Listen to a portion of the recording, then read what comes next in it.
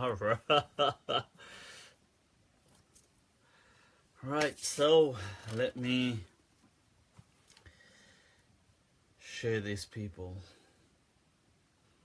Put my phone on silent and get this shared. Right, so.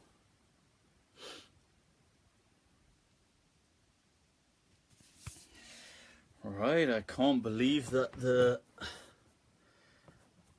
this internet is playing up as well. Ya salam. Let me get this shared.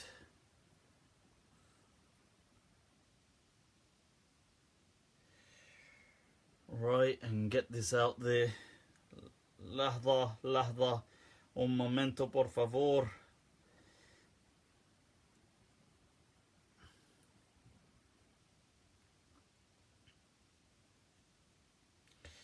Just sharing it, not ignoring you folks. Alaikum assalam. Those of you just tuning in. Uh, what is going on?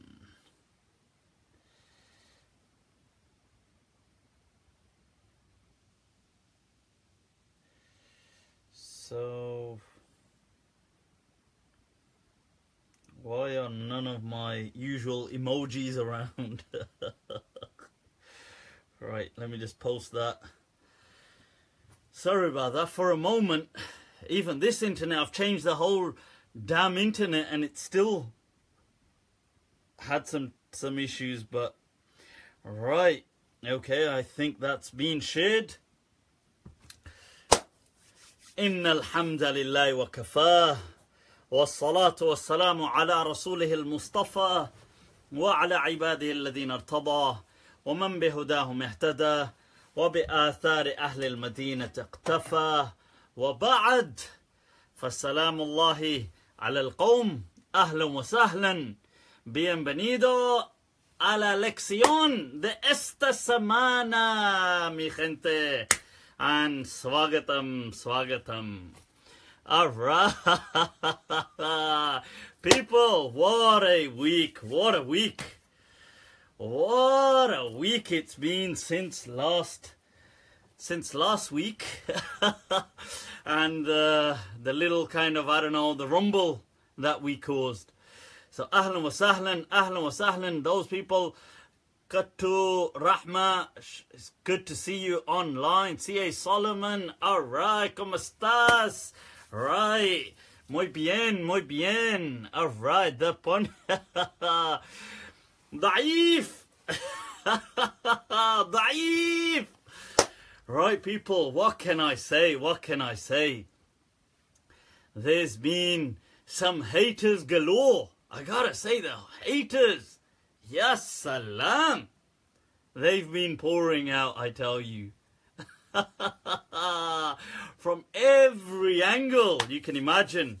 But let's see, let's see. I'll speak a little about them as we go into today's session. Do I follow English football? I don't actually. I don't watch any sports. Uh, right, yep.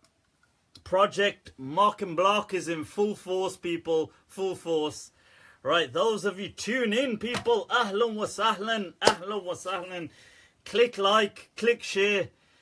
Right, get this out there. Bilal Chowdhury, likewise, it's great to see you online. Right, I don't know why that is, people. Looks like uh, some people have been doing magic on my internet. They've been sending the demons out there, so. But hopefully, I've reconnected it to a different Wi Fi uh, hotspot. So let's see how this goes. People, let's see how this goes. Hopefully, inshallah, it will be okay. Let me just.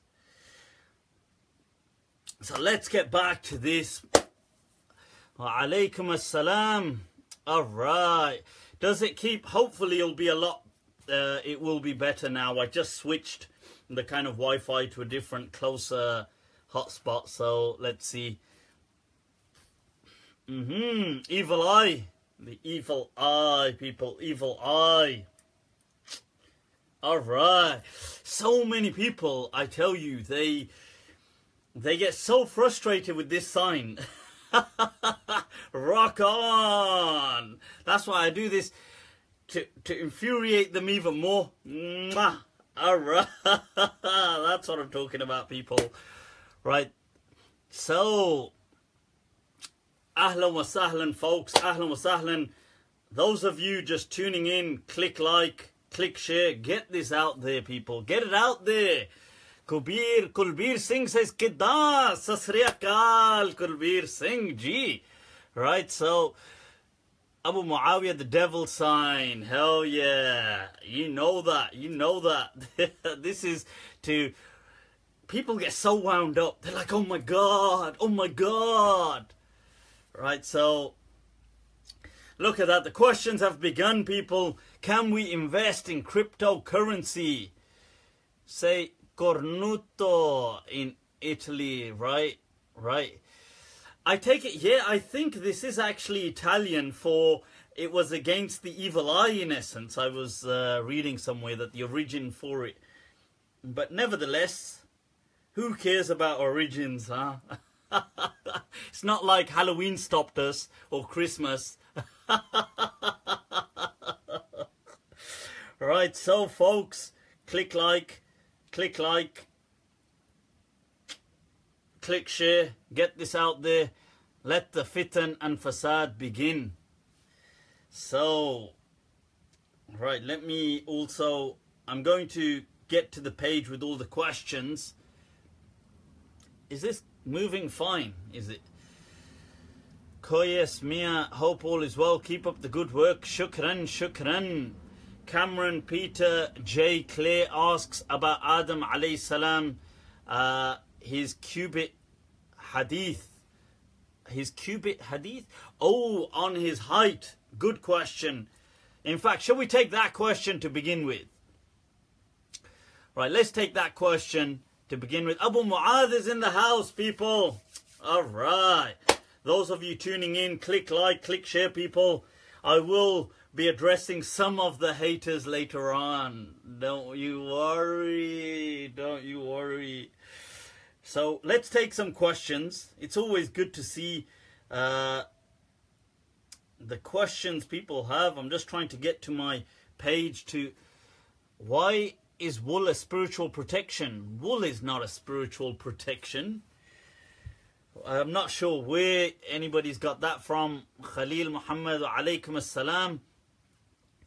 Uh, right some Sid is saying he's reading the book Sapiens. That is an awesome book, an incredible book that I recommend for everybody. Uh, all right, we've got the Maliki Viking in the house, Ben. People, post your questions. Let's see. Let's take that that question first. That Adam alayhi salam, our father Adam. You know, this is another thing. On a side note, I'd like to say. Let me take a. Uh, let me wake up a bit. Look at that. Adam alayhi salam. You see, I've addressed before this whole thing. Adam alayhi salam, I have said before, is to me one of the most incredible personalities, if you like, or prophets or people that I would just love to know more and more about.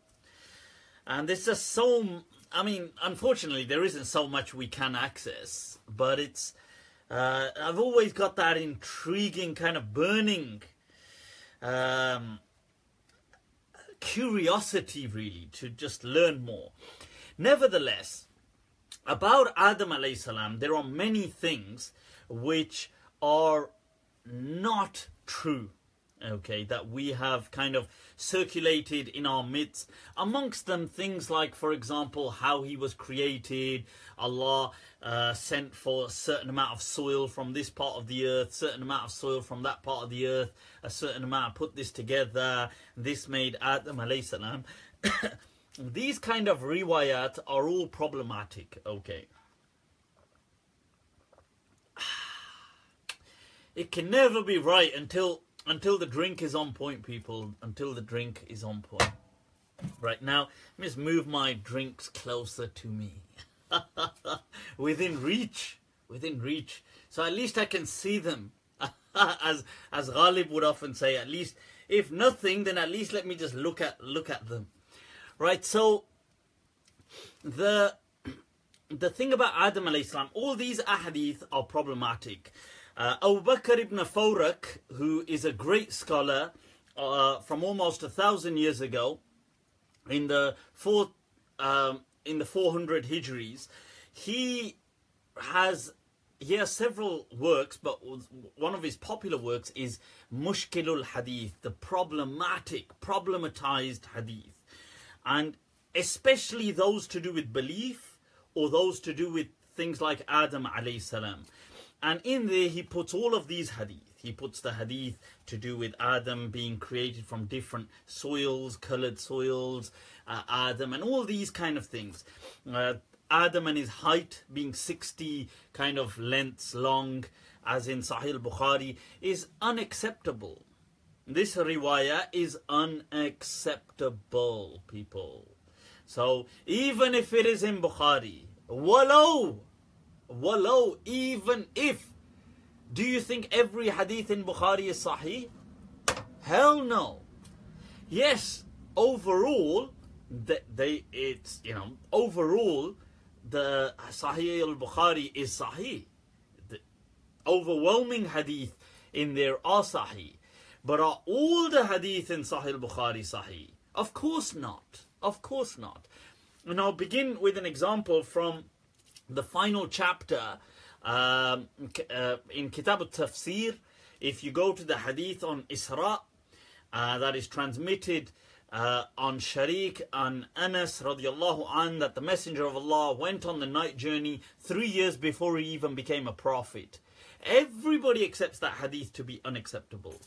Everybody. Let alone other ahadith which are in Sahih al-Bukhari which are also problematic. So yes, when you're going to compare them with the overwhelming ahadith that you have in Sahih Bukhari. So generally people say you have possibly about 8,000 hadith if we're going to go in its totality in Sahih Bukhari. Yes, the overwhelming majority of them are fine, they're excellent, well preserved. But amongst them there is a certain margin of error, people. A certain margin of error. Um, so amongst them is this hadith as well about Adam alayhi salam. This is not a sahih. Uh, this is not an um, a valid hadith. It may be sahih in its chain, but it's not valid. And something the scholars started to do less place less emphasis on was matan criticism. So when you look at a hadith, you ought to look at its chain and its matan and its content. So as the years went by, the scholars started to place less emphasis on the content, which is a huge mistake. A huge mistake. Right, so now how do I know that this hadith is sahih? Even before me, many scholars have problematized this hadith. Um, as I've mentioned, people like Ibn Fawrak, people like even Ibn Hajar in uh, Al-Asqalani in his Fathul Bari highlights that when you look at the prior uh, um, civilizations before us and he refers to people like Thamud and all these kind of other civilizations whose ruins were some of which were still preserved in his time he says that we see that their abode and their kind of bones and their kind of things resemble us so he highlights this demonstrates that this hadith of Adam being so tall and everybody decreasing is problematic. And he says, I don't know, uh, but this does not seem valid then. This does not seem true. And there are other hadith as well, people. So don't be kind of surprised about this. An example is the hadith of uh, an, uh, of magic being done onto the Prophet sallallahu alaihi wasallam, which I've highlighted in my course, along with Sheikh Akram Nadwi. And by the way, Sheikh Akram Nadwi as well in that course, which is on YouTube, highlights that this hadith of Adam alayhi salam, he gives as an example, is unacceptable as well. So that's not just me saying that. You know, very uh, people like Sheikh Akram Nadwi who are understood as very senior scholars and people who are very kind of conventional and traditional. This is how uh, people like Sheikh Akram, may Allah bless him, is viewed. So even he, he concurs on this point. And there are many other ahadith, by the way, things like the magic one, which I've highlighted and the whole course discusses, other things as well. There's a very problem, there's other problematic hadith, you have to recognize. Hadith which are blasphemous, almost. And they've been um, kind of uh, blasphemous towards the Prophet. So a hadith, an example, uh, is the hadith of Musa alayhi salam. This hadith, scholars, some scholars did problematize these hadith. The, the hadith about Musa alayhi salam having a uh, an alleged problem with his genitals.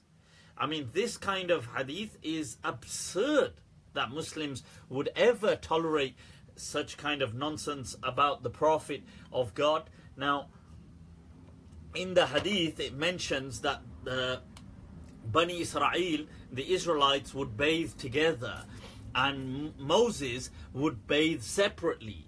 And so the Israelites began to say that, oh, the reason he uh, bathes separately is because uh, he is, the Arabic word for it is adar. Okay, adar. So people were past the watershed, and you know if it's Monday nights with Mufti, it's going to be live and unrestricted. So you've got the warning anyway. So now the thing is, in this hadith, it mentions the term adar, which means somebody with abnormally swollen testicles. Right. So this is so this is what they refer to the prophet Moses as in the hadith. So they say he's adar. This is why he doesn't bathe with us. So what happens in this story is that when Moses peace and blessings be upon him is bathing, he puts his clothes down on the rock and when he comes out, the rock starts to run away. No, not the rock, the, the wrestler, the rock. this is the rock, people. The rock with... Damn, my pillow ain't here. so the rock gets up and starts running off. So we've got a rock running with his clothes on there. And Musa alayhi salam is running after the rock. This is in the this is in Sahih Bukhari. So Musa alayhi salam is running after the rock, and the rock is running with Musa alayhi salam's clothes on there. And then Musa catches up, but now he's because he's all naked. All of Banu Israel, the Israelites, see his genitals and say, "Oh, so I guess we guess he's not Adar after all. He, you know, his uh, his testicles are normal. I mean, this is so blasphemous. And then Musa salam gets his stick and starts beating the rock up. I mean, seriously. You know, like people are people believe this kind of stuff and then they say that no, they're doing this for the honor of Islam. I mean, seriously. So this is in Sahih Bukhari. Now, of course, that hadith is nonsensical. Of course, it's utter blasphemy. Of course, it's ridiculous to believe in certain hadith. Right? We do not believe in certain hadith. We do not compromise the honor of the prophets of God for just to succumb to this hadithi culture and just to please some scholars just because they said the chain is correct.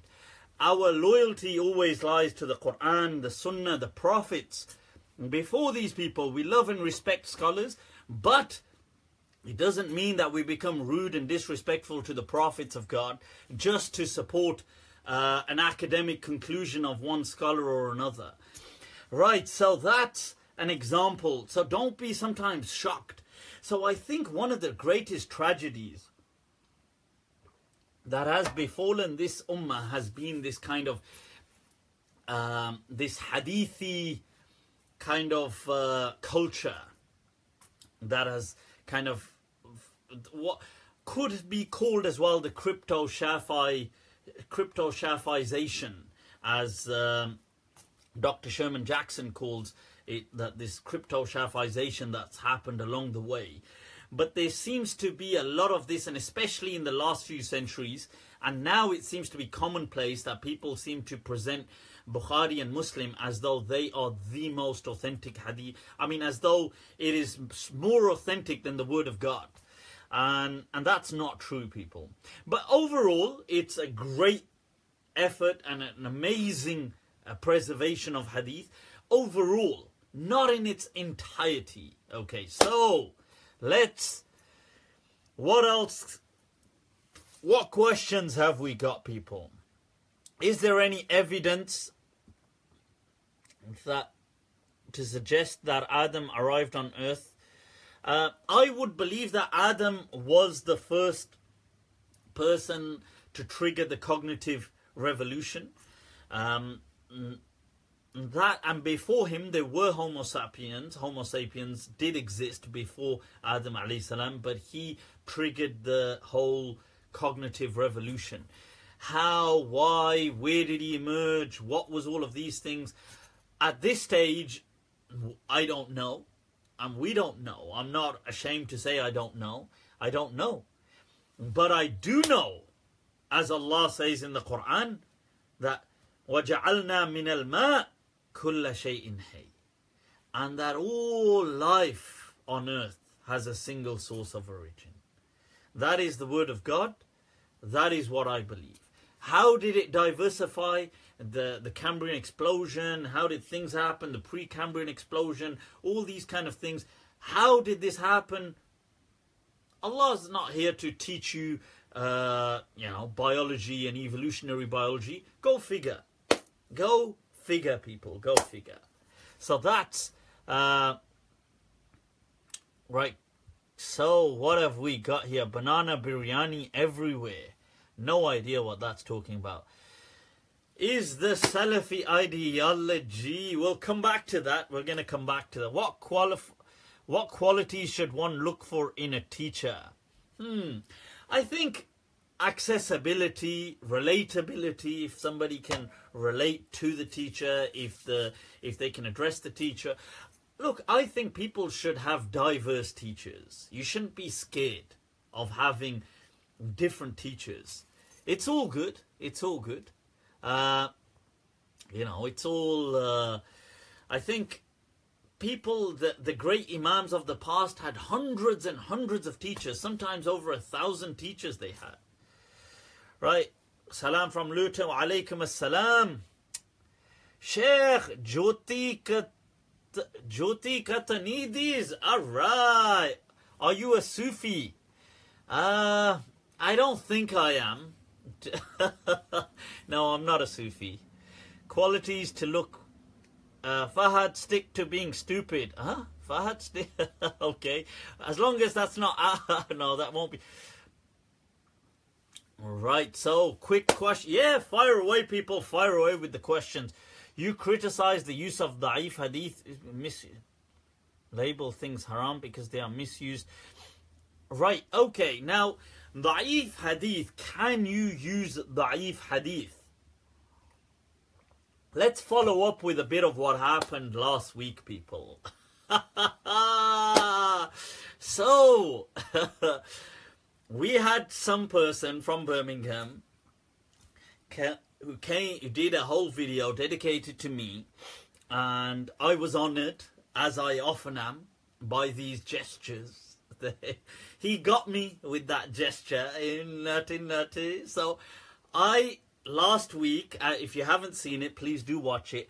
I dedicated some time of my life back to uh, this exorcist. He's an exorcist, claims to be an exorcist. Obviously, all these things are uh, fiction, and they don't. they don't actually exist. But I mean, he claims in in his worldview, in his imagination he deals with demons and things like this and so i mean that's not me mocking him that's just me describing him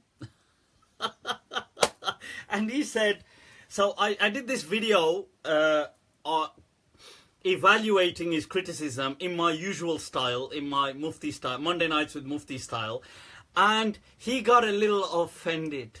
Hi, hi, hi. Naraz ho gaye.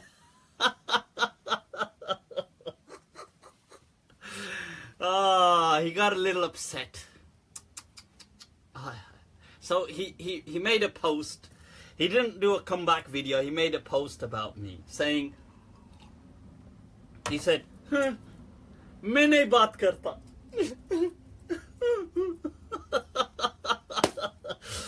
He said, "Oh, he kept yelling da'if, da'if," and if he was sincere, I would have taken down my video against him. Well, my dear exorcist, I don't want you to take down your video against against me. Keep it up.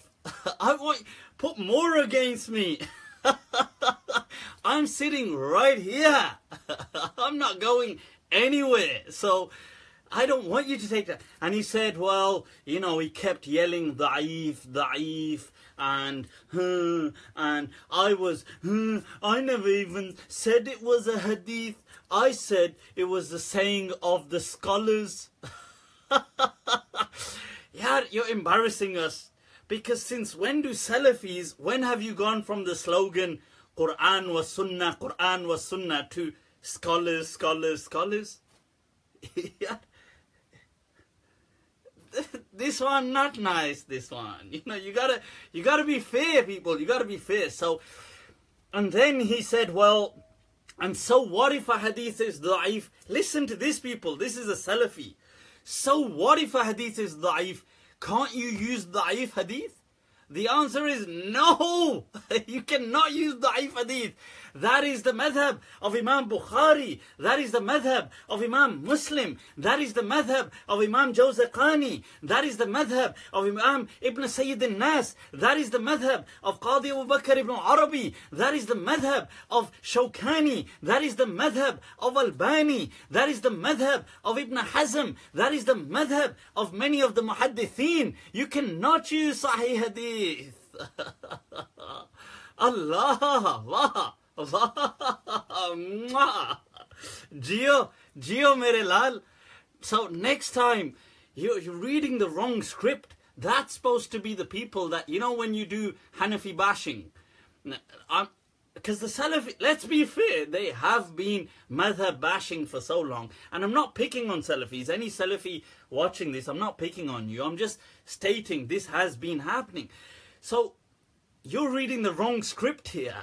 so, it's supposed to be the other people who are supposed to be saying, oh, it's okay, we can use da'if hadith, we can use da'if hadith. And you're supposed to be kind of condemning them. No. So you're reading the wrong script altogether. So that was that. Then he said, look, oh, and he read this verse of the Quran, وَنُنَزِّلُ مِنَ الْقُرْآنِ مَا هُوَ شِفَاءٌ uh, and he says that, you know, and this is وَرَحْمَةٌ uh, wa wa la يَزِيدُ الظَّالِمِينَ illa خَسَارًا And it doesn't, uh, you know, uh, and, and in another verse, the kafirina.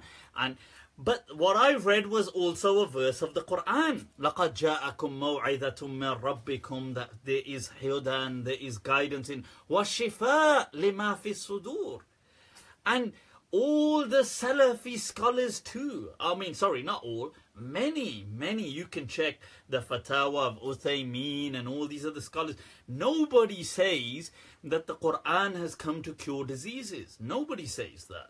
And so if somebody's got or, or, or things like somebody's got spinal injury and instead of doing surgery everybody sits around reading the Quran nobody says these kind of things so to insinuate this is to just misguide people.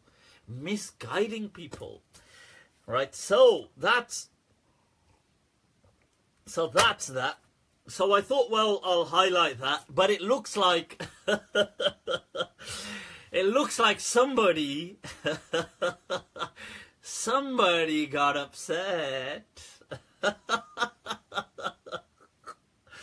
somebody खफा हो गए What's that uh, Allama Iqbal says? That apne bhi khafa mujhse begane bhi na khush. that even that all people, those who know me, are upset with me, and those who don't know me, even they're upset with me. That ke zehre halahil ko me kehna sakakand. That just because I couldn't call, po- just because I called poison poison and refused to refer to it as sweet, as some kind of sweet candy, so everybody's upset with me. Right, people, click like, click share, get this out there. Let's see. Saludos desde España. Alright, look at that. We've got Binam Khan. Bienvenido, bienvenido. Right, ah, why don't you do one then? Uh, Rahma, good question. What is this question? Let's see. We'll try to tackle some of these questions. Is blood transfusion haram? blood transfusion is not haram. Uh, looks crazy, talks like crazy. Wahid Kari Ji. Kari Saab. काहे को शर्मिंदा करते हैं आप well you're blocked anyway. That's what's gonna happen people. Mock and block is in full swing. Right so I lose friends when I share. Hell yeah. Hell yeah. That's that's the litmus test people. That's the test. That's the test that ayahsabun nas do people think that they will say we believe wahum la yuftanun and they will not be tested. Allah, Allah. Right, so donating organs or blood transfusion, this is permissible, absolutely permissible. Uh, in fact, Sheikh, uh, the Sheikh I often quote, um, Ibn Ashur, the grand Sheikh al-Islam of his time and the grand Mufti of the Malikiya, who lived up until the six, up until the 60s, his kind of student and junior to him uh, was Sheikh Muhammad uh, Al Aziz Al Juayyid, who who has some of his fatwa collected, and he was the Grand Mufti of the Maliki in his time. And this is like around in the 60s. And in his fatwa back then, he discusses this issue about tabarru, giving, gifting uh, organs, okay, and donating organs and how that is permissible within Islam. And you have to remember something. You have to remember something, people, that in Islam, everything by default is permissible unless proven otherwise, unless proven with overwhelming evidence to the contrary. Do not let them, do not let them deceive you, people. Do not let them simply tell you, oh, this is haram. They must prove it by overwhelming, clear. It must be absolute, categorically clear evidence. Okay. Conclusive, explicit evidence to the contrary. Otherwise, by default, everything is permissible. Al-asl fil ashya al-ibaha. So that's the uh, the whole the angle on blood transfusion and things like and some scholars they felt that blood transfusion is impermissible. Why? Because they said blood is najas blood is impure. I disagree that blood is impure.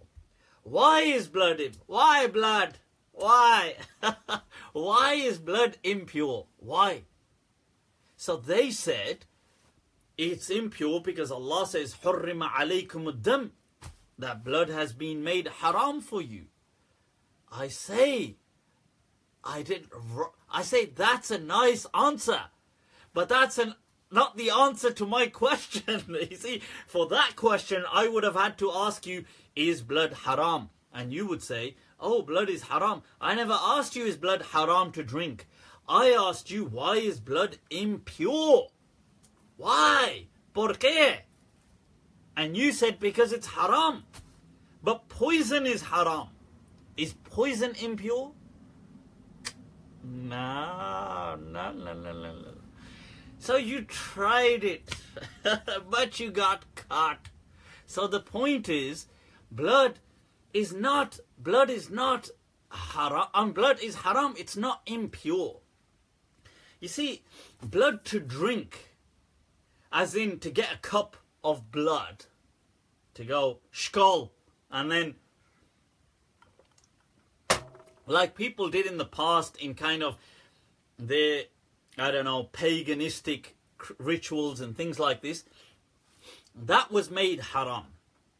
And people generally don't drink blood anyway.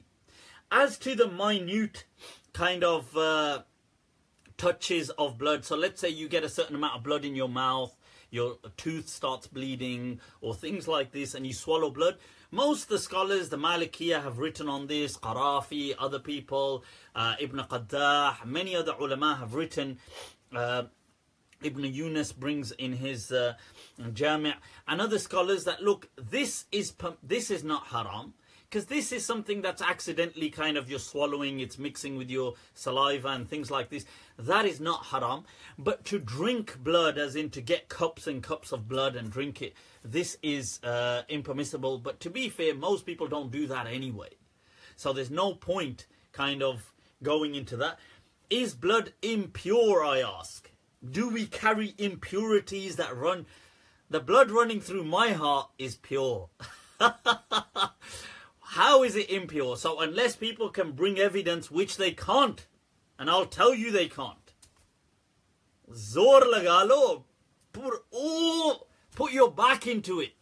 You will not be able to bring a single dalil. And this is my point of shutting down cognitive reasoning. Blind following. Blind following people. Why? You see, I say that, look, of course we should follow ulama.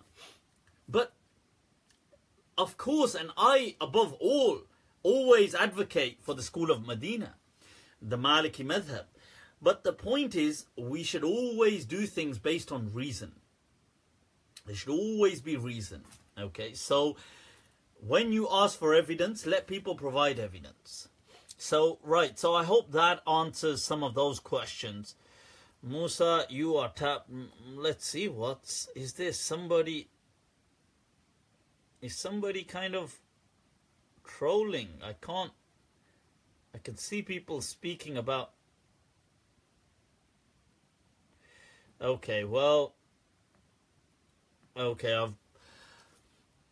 What is the Hanafi evidence that bleeding breaks wudu and Maliki evidence that it doesn't? It's not just the Maliki uh, evidence. Yep, sorry, just before I move on, somebody asked about the verse that daman masfuhan, the blood that has been shed.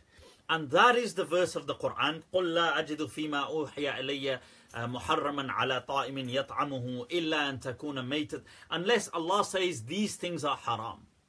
That لحم الخنزير that uh, pork and dead animals and دم uh, masfuhan. Haram, haram. I'm not denying it's not haram. I'm accepting blood which comes out of animals, which is shed.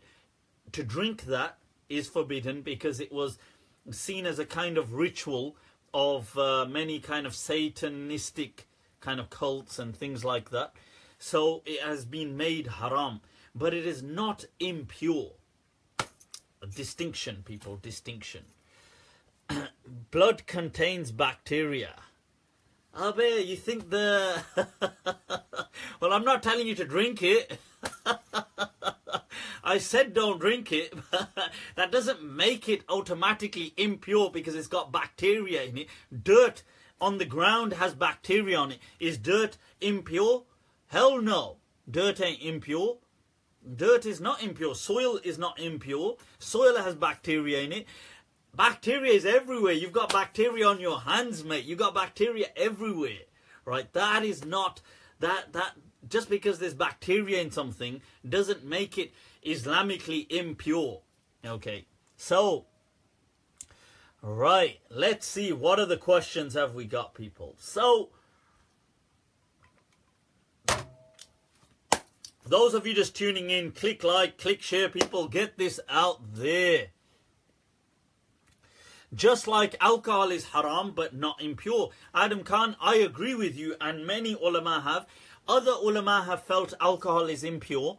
Um, I disagree with them personally. Uh, many uh, there have been many scholars right from the Salaf uh, who had the understanding that alcohol was haram but it was not impure. And amongst them people like Rabi'atul Ra'i, Ibn Shihab Zuhri, uh, several of the Malikiya you've got many of the Qarawiyin of the of the past. I don't mean like uh, of the Qarawi scholars including um, you've got Ibn al-Haddad and many other kind of Maliki scholars and, and other people too felt that alcohol was uh, haram, but it wasn't impure. And the dalil they used is in Sahih Muslim. They, it mentions that when the verses came down to say alcohol is forbidden, they spilt it in the streets of Medina. It mentions uh, that they spilt it fi sikakil Medina, in the streets, which is a haram, which is a sanctuary. So if it was impure, they wouldn't have just spilt it like that. That's the evidence that these people use, and I'm also inclined to that understanding. Is your haircut halal? Hell yeah, it's halal. What? Why are you imitating women by wearing necklaces? Well, Ahmed Ashami G. First of all, uh, if the only thing that makes you recognize gender is a necklace that like a razor blade necklace. Then i feel sorry for either you or the women around you. Because if the women around you look like this they're like they're like they're sitting there like this with goatees and they got kind of like oh yeah but they've got a necklace on and you're like well right uh, I, sorry i needed to speak to the woman here uh, no, it can't be him. It can't be. Oh, it must be him because he's got a necklace on. I mean, her. Yeah. uh, yes. What is it that you had to ask me? Uh, would you mind spotting me at the gym? it's just that. It's just that. Uh, you know. Seriously, is this what it, it takes to make you think I'm a woman? Like, I, I put this on and all of a sudden I appear as a, as a, as a lady to you or a woman. Like, this, this is it. This is all that does it. you do understand this physiology and anatomy. You do understand how the male female kind of body works, yeah? and, uh, and the organs and things like this. It's not usually you know, on the toilets, they've just got a necklace, like a razor blade necklace on one of the toilets, and on one they haven't. what do they have with this no necklace? They just got like blank. That must be male. It's blank. necklace. so, so for God's sake, seriously. Right, can you give a shout out Hamid Khan? All right, watches oh, all my He loves me well right back at you, my brother, right back at you. Right, so what about exploiting people or polluting environment? Hell yeah, exploitation is utterly haram. Exploitation is why many things were made haram in Islam. It's the true reason why things were haram in Islam. All right, we got Mark. Imam Mark is in the house, people. Imam Mark, those of you not following Imam Mark, you need to follow him like, add him, reach out to him with your questions. Imam from the stateside who's got it on lock, people. That's what I'm talking about. With his stakes, gym, and the ilm. Right, so Mufti Abul, you keep emphasizing that we should begin to study the deen, allowed to be ourselves. Right, I'm just sorry, but where are a safe space? Right, so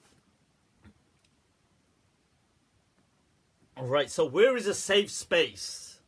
Um, Imam Hassan, ahlan wa sahlan, tasharrafna. Imam Hassan is in the house, people. Right, so where is a safe space to study? It's difficult to suggest. I think you have to study partially on your own. You, you, you have to look out for teachers. You have to be proactive. If you can go to an institute near you, do go to an institute. The institutes around you will not be perfect, just as nobody's perfect. You, me, nobody's perfect. But you take the good wherever you can find it. Do not be held down by sectarian divide. If you feel that there's, I know on this look, I do obviously I'll have my differences with people. I'll kind of criticize them back. I'll do my usual mocking style. But in all honesty, uh, if you were to ask me, look, there's a madrasa close to where I live. Uh, it's a, let's say, it's a Salafi madrasa, it's a Deobandi madrasa, it's a Brelvi madrasa, it's whatever. If it's a place of knowledge and it gives you knowledge, then take it by all means. I I studied in a Salafi madrasa, believe it or not, I did as well. I've got an, uh, uh, I kind of graduated with their equivalent of a BA from Jamia Abu Bakr Salafia in a Deobandi madrasa, a Jamia Binoria in a Brelvi madrasa, Jamia Dar Ulum Muhammadiyya Al Ghawthiyya, which belongs to Pir Karam Shah in Islamabad. So studying with different people, by all means, love and respect them, your own teachers, but at the same time it doesn't what i what i make i don't like is becoming part of a cult becoming sectarian as in you have to now only reach out to those people. You have to toe their line. You have to push their narrative. Why? Why do i have to push their narrative? Like i don't belong to any of these groups. I don't ever make any affiliations. The only affiliation i make is in fiqh. In jurisprudence, in Islamic fiqh, I give always preference to the school of Medina, which is the Maliki madhab, going back to the city of the Prophet, peace and blessings be upon him, the enlightened city, Madinatul Munawwara, and as transmitted and taught by Imam Malik. I give preference to that above all. But that said, what the school of Medina teaches me, apart from fiqh, is it teaches me a way of thinking and enlightenment. Right, so in fact, let me let me let me explain religion to you people. Let, let me explain religion. right, you're in for a treat, people. You're in for a treat. I'm about to explain religion. Okay, so be so brace yourselves. It's about to go down. right. I'm just gonna, I think this is not on silent. I'm just gonna put this on silent one moment. Uh, right, those of you just tuning in, click like, click share people. Uh, right, click like, click share, get this out there.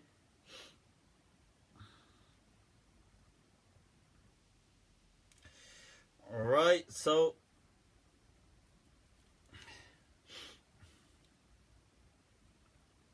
Right, so I'm going to explain religion. Let's get this out there. Let me explain. Let me give my analysis of religion, people. All right, compadre, estamos listos? All right. That's what I'm talking about. That's what I'm talking Can you recommend any books to read on Maliki fiqh? I can recommend them. There's loads. Uh, but in fact, okay, let me give you some examples and I'm going to come back to explaining religion. Those of you just tuning in, uh, Amani Santiago. Ahlan sahlan, bienvenidos. I uh, hope you're well. I did see your Facebook message about not being well, so shafakillah. Right, uh, listen to this. Stop criticizing his looks. Shukran, David. Shukran. Right, now I'm going to... Wazio is in the house, people. Wazio, what is a metaphor? we had this awesome discussion uh, a few weeks back with some people. I, I spoke about it, but the brother in there kept explaining what a metaphor is, and it was so hilarious because he explained it about 10 times, using the same example every time. Right, so coming back to to this, I'll just quickly highlight some Maliki Madhab stuff, and then I'm going to go into explaining what is religion, uh, my analysis. So, like, share, and then brace yourselves. it's going to be a tsunami, people. Right, so in the Maliki Madhab, there's several things. You can begin with beginner texts like the Ashmawiya, which is made for just for beginners. Uh, there's uh, another a beginner's text called the Akhdari. Um, Ashmawiya is more taught in the Eastern Muslim world and uh, as in like the Middle East and, and Egypt and Akhdari more so in Morocco, Northwest Africa. Then you've got uh, after that you can take a look at people sometimes look at Ibn Ashir. They've got different methods, by the way. Sometimes they look at a book called uh, Aqrabul Masalik. Um, I don't think that's in English. The Risala of Ibn Abi Zayd is in English. Uh, I have got a certain amount of commentary on the Risala. I'm going to try to make that available as well. I think I've got about 70 lessons on it, 7 0 when I used to teach it online. So I'm going to try to make that available. I have got my audio uh, commentary on the Ashmawiya in six lectures. I've got an audio commentary on the foundations of Islam by Qadi Iyad, who is a great scholar from Muslim Spain almost 900 years ago. And that's in 20 audio lectures. That is available. You can listen to that. Uh, the Risala, other people have done commentaries, is available. The commentary in English is available from Aisha Bewley's website in Norwich, UK. Um, other than that, I'm just trying to. I think that will give you a good understanding. There are books like Khalil, the Mukhtasar of Khalil, uh, which is seen as a. It's it's a brief text, but seen as woe. I would love to start teaching that at some point. I am thinking of beginning to teach the Talqeen. Talqeen is another book. If you are in Birmingham, uh, I know Sheikh Sidi Iqbal does teach um, Maliki fiqh, so you can reach out to him. He's on Facebook as well. He's a great, great scholar, by the way a hidden gem, refuses to kind of make himself be too well known. But he, I'm absolutely vouching he's a legend of a scholar, Muhammad Iqbal on Facebook. Right, so now let's get back to my analysis on religion. Now, you see, religion, people, you have to understand something. Uh, what is the meaning of this? Rock on! That's what it is, people. so, right now, okay, I'll deal with some of those questions. I'm just going to explain what an analysis on religion. Religion has certain layers to it, certain layers, people, or certain tiers, or certain levels, levels to this thing. There is religion as for that is commonplace religion. That is for common, general folks, general people, for the laity, for laymen, for uh, for most people out there, common folk. I don't mean like people like scholars and so on, stuff like that. Just regular people who don't know too much about religion. Uh, these people out there, the majority normal people, religion at that layer is actually a kind of mythology and folklore. Religion at this layer is a very folkloric kind of tradition religion. Um, every person emerges from this layer. So it's religion at this level is a kind of fantasy like religion for people. It has to have things like superheroes, magic, demons. Uh, it has to have like um, like sci-fi. It has to be things like like just unnatural, like very fantasy like religion, magic, voodoo, demons, evil spirits, all these kind of things have to happen at this level. I mean, this not have to happen, sorry, these people believe this is what religion is for them. Like religion has to have all this sci-fi, supernatural, mystical, kind of unbelievable superheroes fighting off demons, fighting off. This is how religion is understood at this common level. Most people recognize religion like that. The common people. And and then full of rituals as well. Now what happens is there's a layer above that. This layer, the middle layer, is the layer of kind of knowledge, of Islamic kind of knowledge. Like those people who start to attain and obtain Islamic knowledge and learning.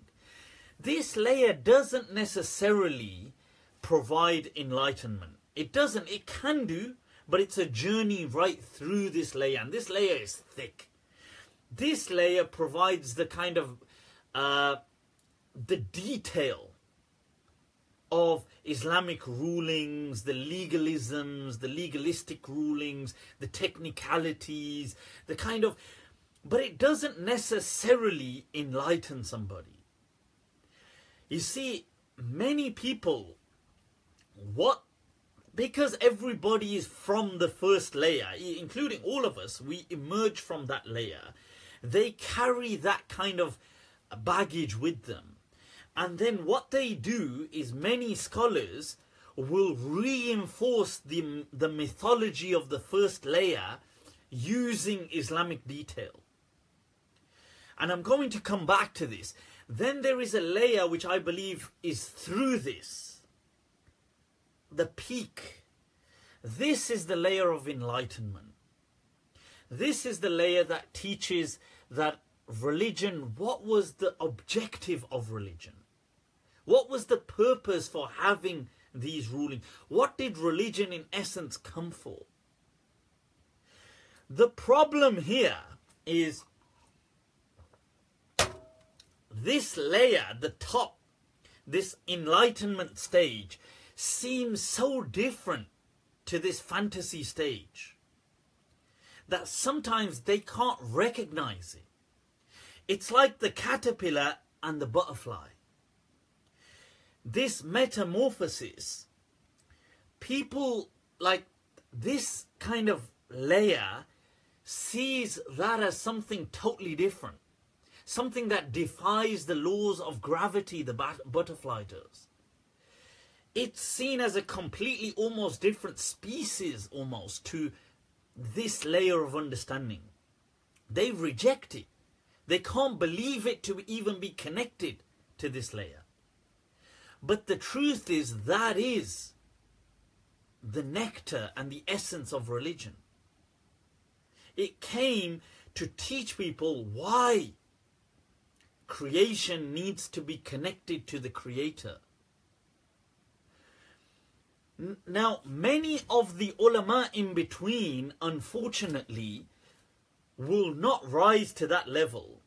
What they do is they gather information and then they reinforce the mythology using their information. And this is why Imam Malik said that lays al-ilm, that true knowledge would be that top layer. That lays al-ilmu bi riwayat. It is not amassing a huge amount of information. ولكن العلم نور but it is a light an enlightenment that قذفه الله في قلب أحدكم that Allah places it in the hearts of, of you and enlightens you by it. So this is important to to kind of understand and let me I want to elaborate on this. I want to give you some examples for it to make sense. Right. Now check this out. Why did Tawheed, the lesson of Tawheed come? Why did the lesson of Tawheed come? Why did Allah say as the first commandment, i'lamu, know with certainty, i'lamu, that know with certainty annahu la ilaha illallah. That truly there is only one God. Why? Today all these people go on about shirk, shirk, shirk, shirk, tawheed, tawheed. But they're not speaking about the true Tawheed. Let's be honest. Let's be honest, people. Let's be honest. You see, Tawheed came to remove the cobwebs of shirk, to remove the shackles of superstition that people believed in evil spirits, demons, magic, voodoo, bad luck, bad omens. Oh my God, I've done this. The curse of so and so is on me. The curse of this is upon me. This is why Allah says in the Quran, on the tongue of uh, Luqman, when Allah is quoting him that he said, Ya bunayya, when he's advising his son, La tushrik billah. La tushrik billah. Do not commit shirk. Shirka la dhulmun azim. That shirk is such a great dhulm. Why is it a dhulm? Allah says that in the nas that people la yadlimun Allah shay'an. That pe- we can't. Is it a dhulm for Allah? We can't oppress Allah.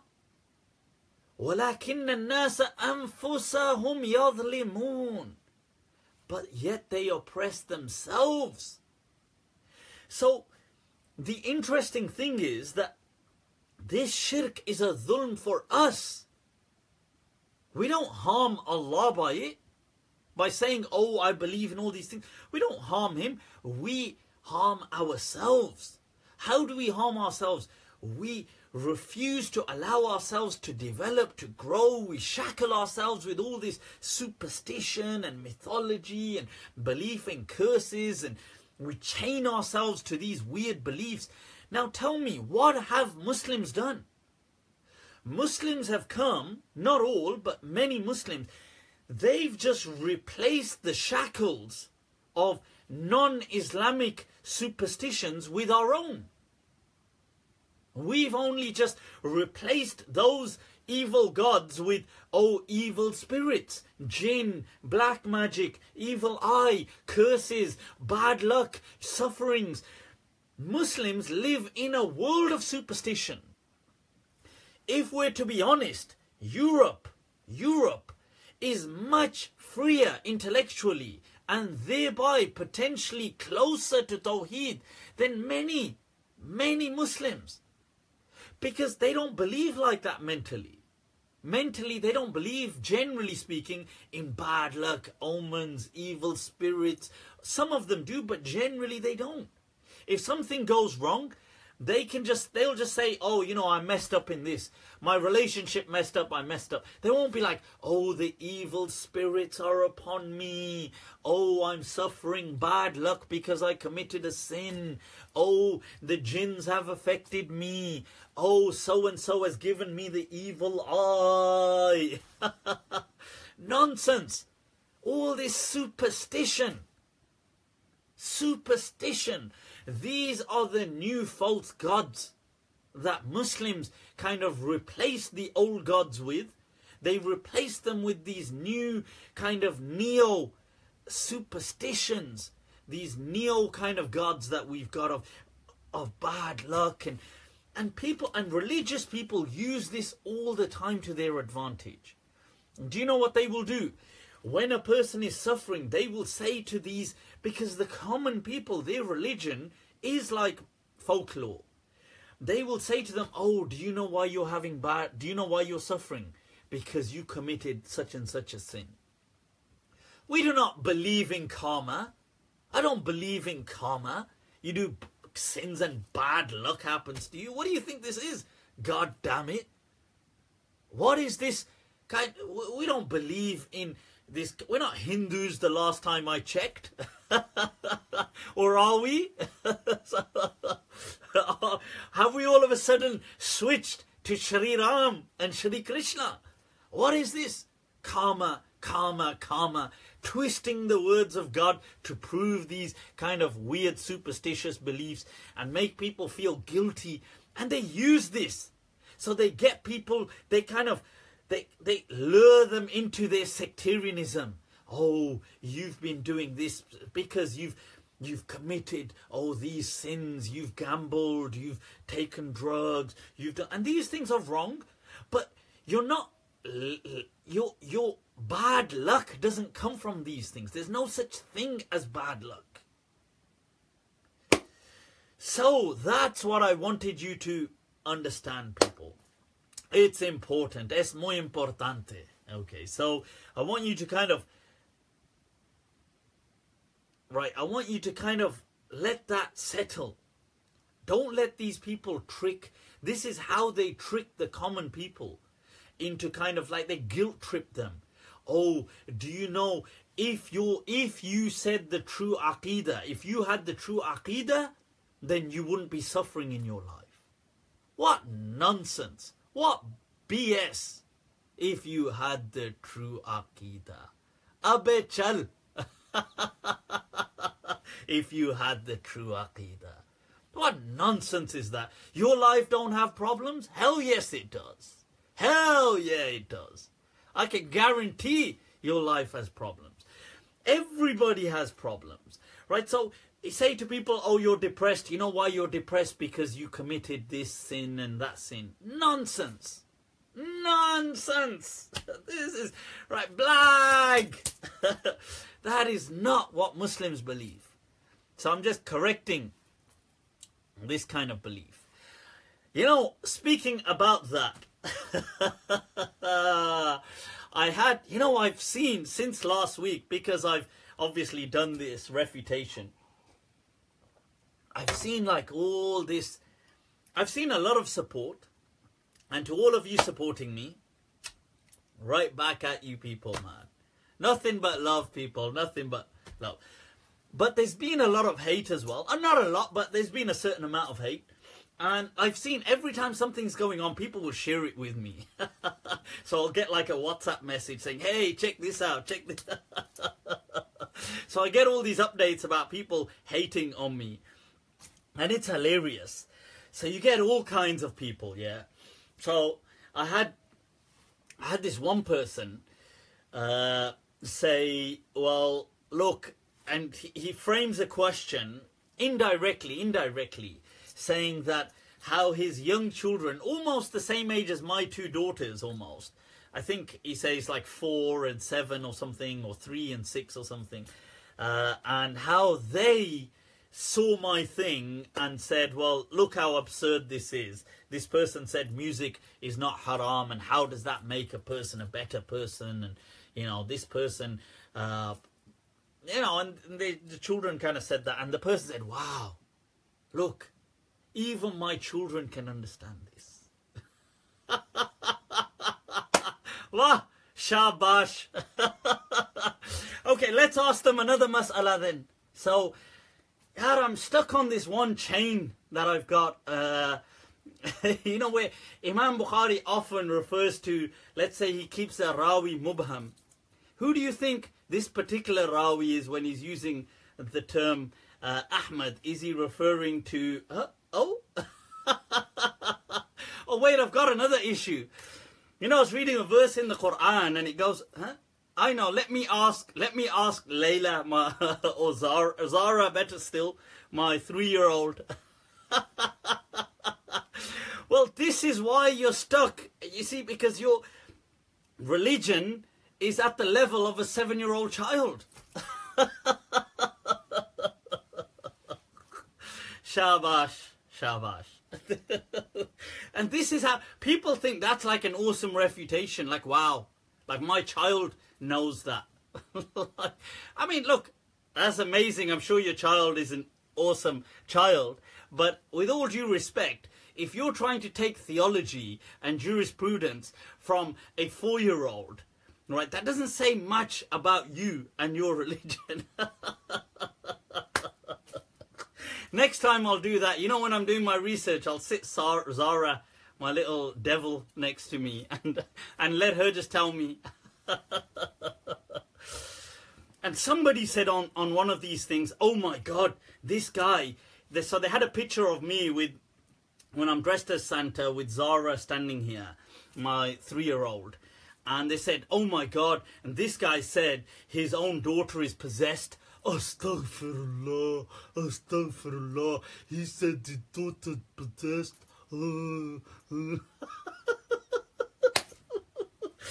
Trust me, she is like possessed.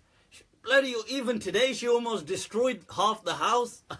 it's like, she's a nightmare, that one is. I don't know what drugs I was on when she was conceived. I don't know. no no idea, people. But uh, right, so so these were some of the refutations you get.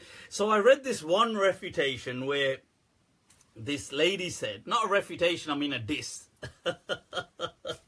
So I get these comments sent to me, see. So this lady said, Oh, I could tell he's he's messed up. And these are like modern looking folk. They're not like religious kind of you you see the religious people you can understand like maybe they're feeling insecure with some of my positions so these are like very kind of regular modern folk. And she said oh i could just look at his face. And by looking at his face you could tell he could never speak the haqq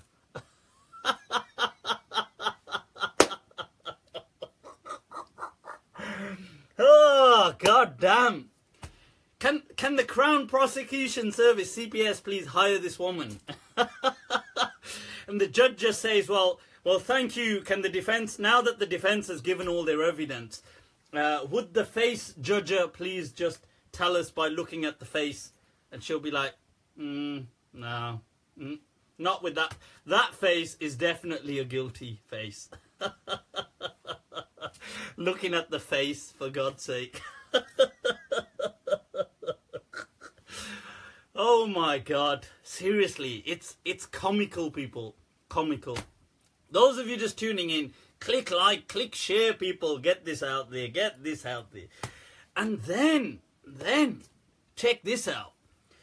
There's been another Juma khutbah. I got a video clip of a Juma khutbah sent. a whole Juma khutbah. Once again, from Green Lane. Green Lane Sharif Sharif, Sharif.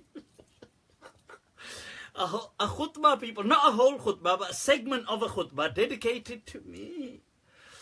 So, Sheikh Maulana Sahib, there's no harm in mentioning Maulana Sahib's name. Obviously, the Maulana, to be fair, the video had my name on it, as in, do not take knowledge from Mufti Abu Layth but uh, he just referred to me as this mufti on Facebook, dresses like this and makes a joke. So this was Maulana, one of the Imams, Maulana, I believe his name is Zaqaullah uh, Salim Saab. Damat barakatuhum al-aliyah.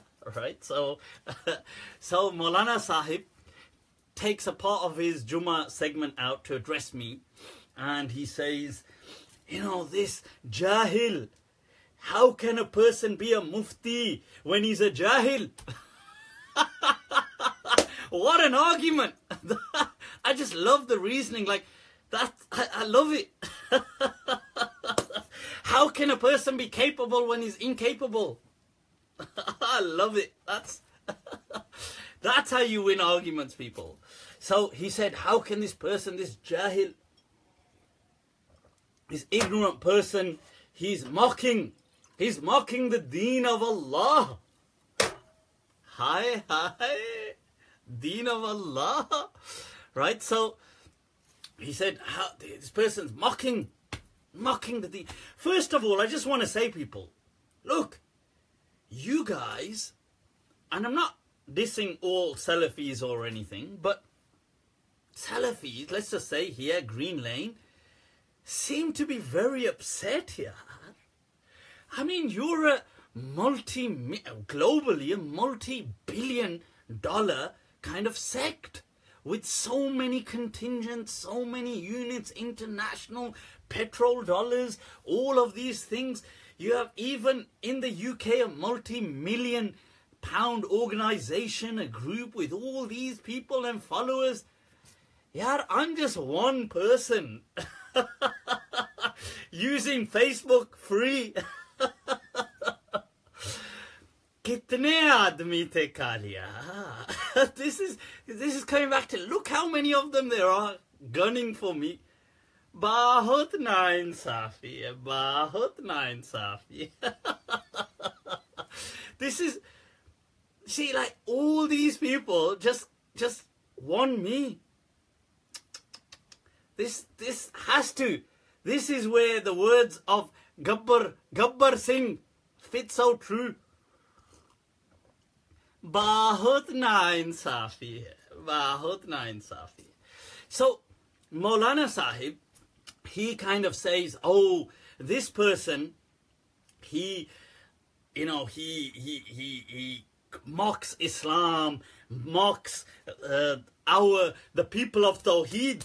the people of Tawheed. Maulana Sahib, हम भी अहले तौहीद में से हैं we're also from those people of tawheed you know why, why are you why are you differentiating between when it comes to tawheed between us and you we're we're all we're all the people of tawheed he says he mocks the people of tawheed he mocks the hadith he mocks the he mocks and he mocks and he's a jahil. How can such people be a mufti? They are jahils.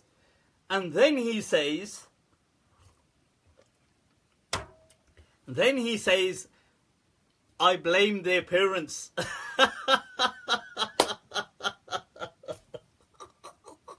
so all those people following me, he says that those people online, because they're jahil as well, listening to me, so then he says, you know, really, I blame their parents. I blame their parents too. you know, if obviously, if they hadn't consumed that chicken vindaloo that day and the spices weren't that hot, then then the birds and the bees and then you know the rest of the story how it how it goes obviously how would have these people let's blame their parents god damn it their parents Baptak Ponjal. he says, I blame all their parents because why, how did their parents, no, their parents never taught them Tawheed. Their parents never taught them, their parents never taught them the correct Aqidah. That's it. The correct Aqidah is what has messed up these people today. So they're all on Facebook live watching Mufti Abu Layth. Uh,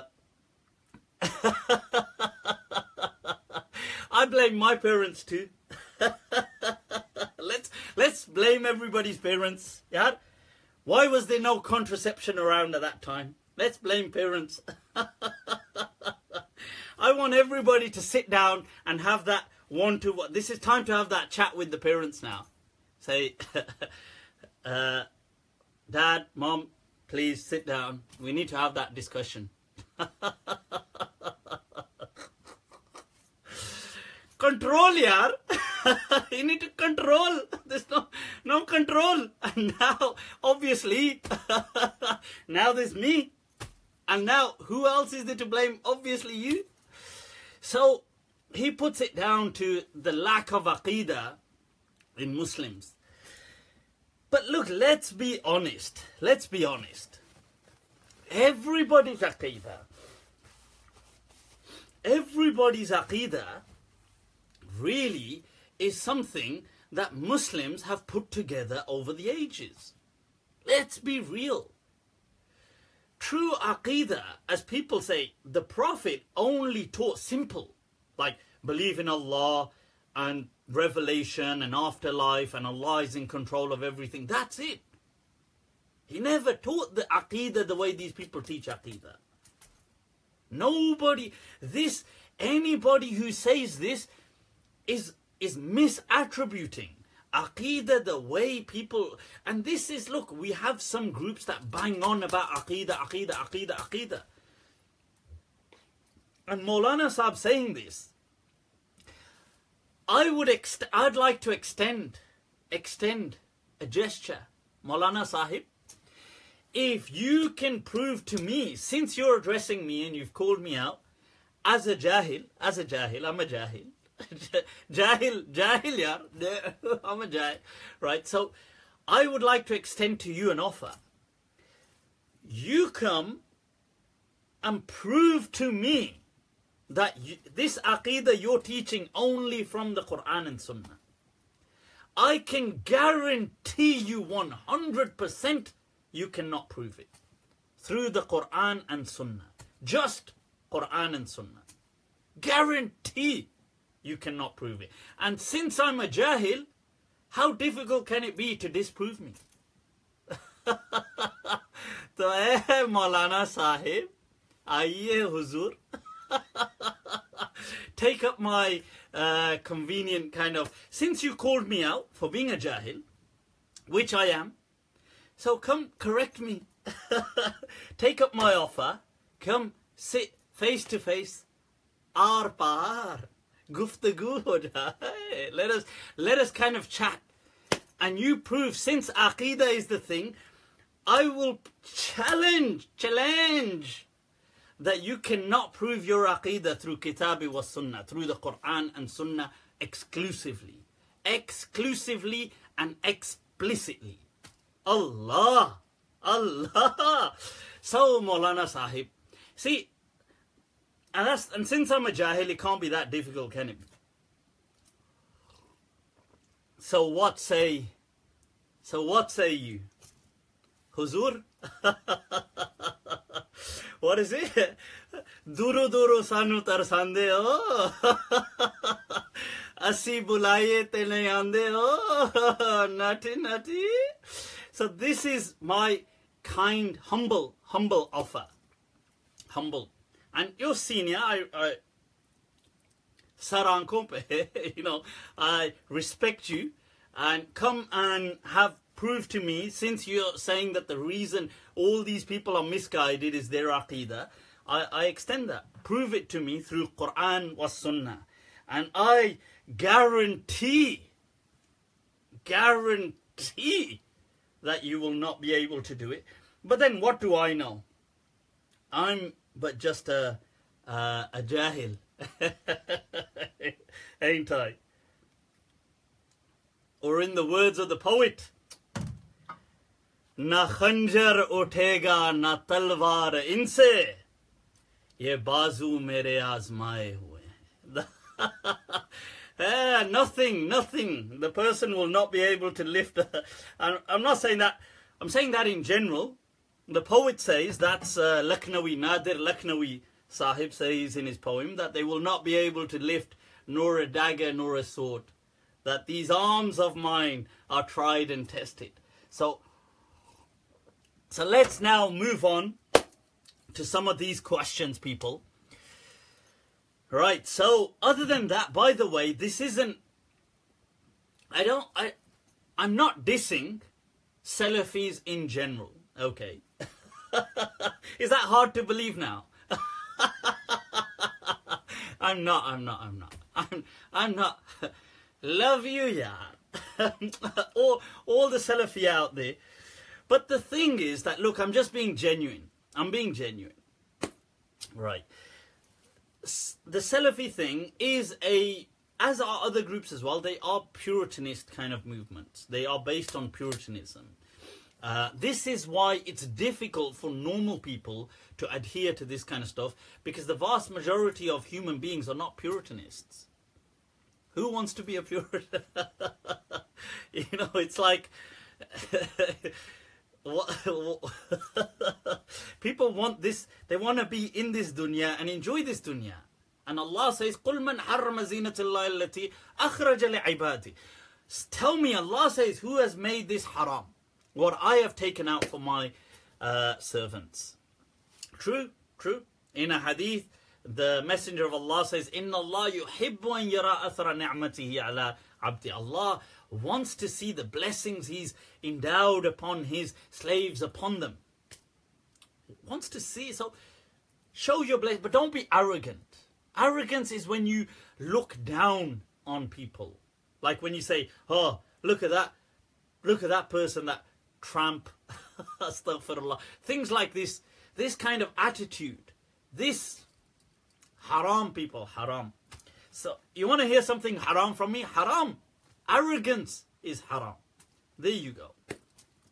So I thought I'd answer this. Another thing, look, you know, people go on about Quran. Sorry, they don't go on about Quran, unfortunately. They go on about, they do say it, but they don't really go on about it. They go on about hadith, hadith, hadith, hadith, hadith. And I was listening to a great Salafi sheikh on YouTube, As you do sometimes. you know, in between the Bollywood, when accidentally, like Sheikh, uh, a Sheikh comes up, say, yaar, oh, chalo yaar, chalo. chalo, wuzu karke bet lete We just sit with respect now. That uh, uh So, no, so I was listening to Sheikh uh, Dr. Sheikh Saleh Al uh, what's his name? Maghamisi. I believe his name is Maghamisi or I might be mispronouncing it but he's well known. And he's asked a question on uh, to, and he's dealing with this question, and I've answered it before, and I don't want to go into it too much now, but about the second coming of Jesus. And he's dissing this, obviously saying that look, we we accept this, and people who deny this are wrong, and so on, and uh, and and he's a bit respect, a bit respectful to the people he's dissing. To be fair to him, but he's a bit respectful, but he's dissing the concept and saying that no, and you must believe in this, and and then you see, I want to highlight something, people. I want to highlight something. Those of you just tuning in, right? If you click like and share, right? All right, click like, share, get this out there. He says that uh, he says, oh, they say, how will Jesus come and where is Jesus? What is he just in the sky or is he in the cosmos? Or and then he says, look, let me prove it to you. And he says, let's look at a verse of the Quran where Allah is speaking about the people in the cave and they slept for 309 years. And he says, and look, and they didn't change and stuff like this. And they wake up and they say, well, how long were we out for? And one of them says, was it a day? Was it half a day? And he says that, look, Allah says, look, and he says, Allah says they were out for 309 years.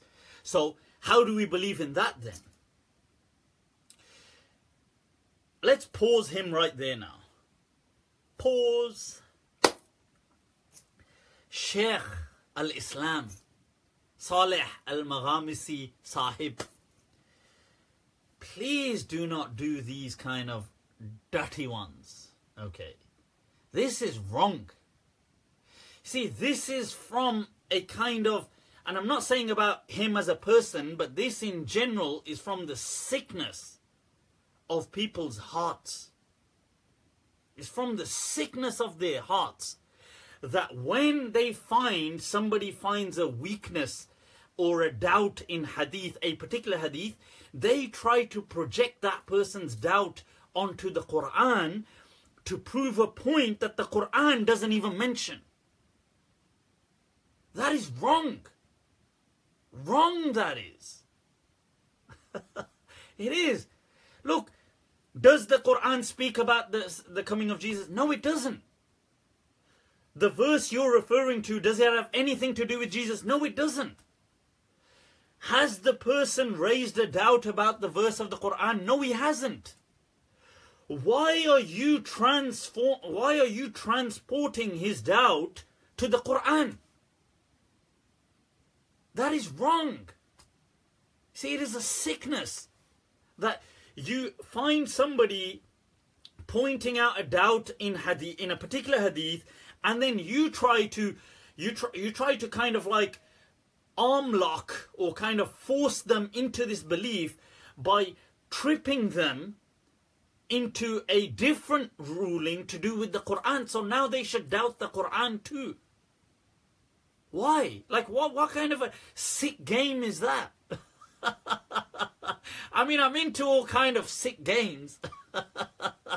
but this one, this one, too much. You know, this, this is not how you play these games. This, this is like the sheikh saying, he's, it's like he's gone into that saw, jigsaw mode. Let's play a game. you will have, you know, why are you trying to make people have doubt about the Quran? That's not how Islam works Tackle his issue. Answer his question. Prove him wrong. Fine. Don't just try to trip him up on the Quran now. The person hasn't said anything about the Quran. That verse has got nothing to do with this. Now you just want him to doubt this verse in the Quran too? बहुत नाइंसाफी है बहुत नाइंसाफी है this is this ain't on. let me let me add to that. Why isn't this on? Because if this sheikh was being just, he would have done complete disclosure. Complete disclosure. Complete disclosure would have shown that in the verse, when it said, and they slept 309 years, is that Allah saying it or is Allah quoting somebody saying it? Ah, you didn't think I would catch this one out? In natty natty? Is, am I wrong? Am I wrong? Wait, wait. Allah. Shaykh al-Islam, Ibn Ashur, the Grand Mufti of the Malikiyah, who has his tafsir in 30 volumes Let's go. أي أي أهلا وسهلا شيخ شيخ أهلا وسهلا تفضل Look, where are we? أين نحن? ¿Dónde estamos? Right now, look, this verse of the Quran,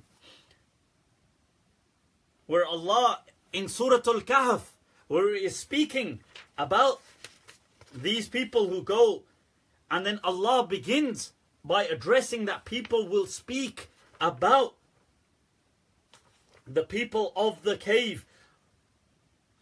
Let me just, from the beginning, I'll mention some of the verses just so you get an idea.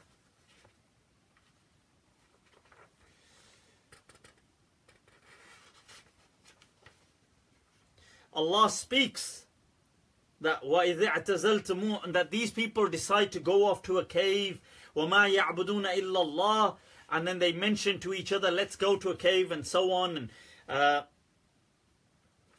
and then Allah says that they went into this deep sleep وَتَرَى الشَّمْسَ إِذْ إذا طلعت تزاوروا عن كهفهم ذات اليمين وإذا غربت تقرضهم ذات الشمال وهم في فجوة منه and that the, the sun would the way the entrance to the cave was that the sun would kind of rise and set in such a way that it didn't disturb them and this is all part of the verses and then Allah addresses about them and then وَكَذَلِكَ أَعْثَرْنَا عَلَيْهِمْ لِيَعْلَمُوا Then Allah says we made it known about them.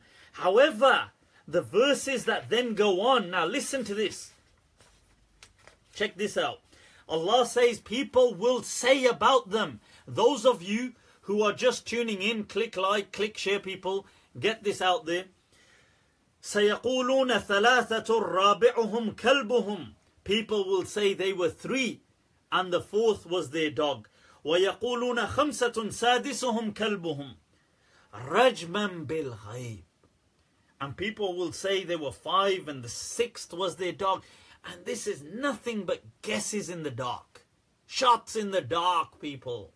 رجما بالغيب. ويقولون سبعة وثامنهم كلبهم. And some people said oh they must have been seven. Why? Because Allah added waw and this meant no but Allah never said there were seven. You say this goes on with the verse. Or some people saying there's seven and the eighth was the dog. قُلْ رَبِّي أَعْلَمُ بِعِدَّتِهِمْ My Lord knows what their true number was. Now check this out. Check this out, people. Then Allah says regarding them, فَلَا تُمَارِ فِيهِمْ إِلَّا مِرَاءً ظَاهِرًا Do not debate about them except superficially. Do not debate about them except a superficial debate. This is what Allah is saying.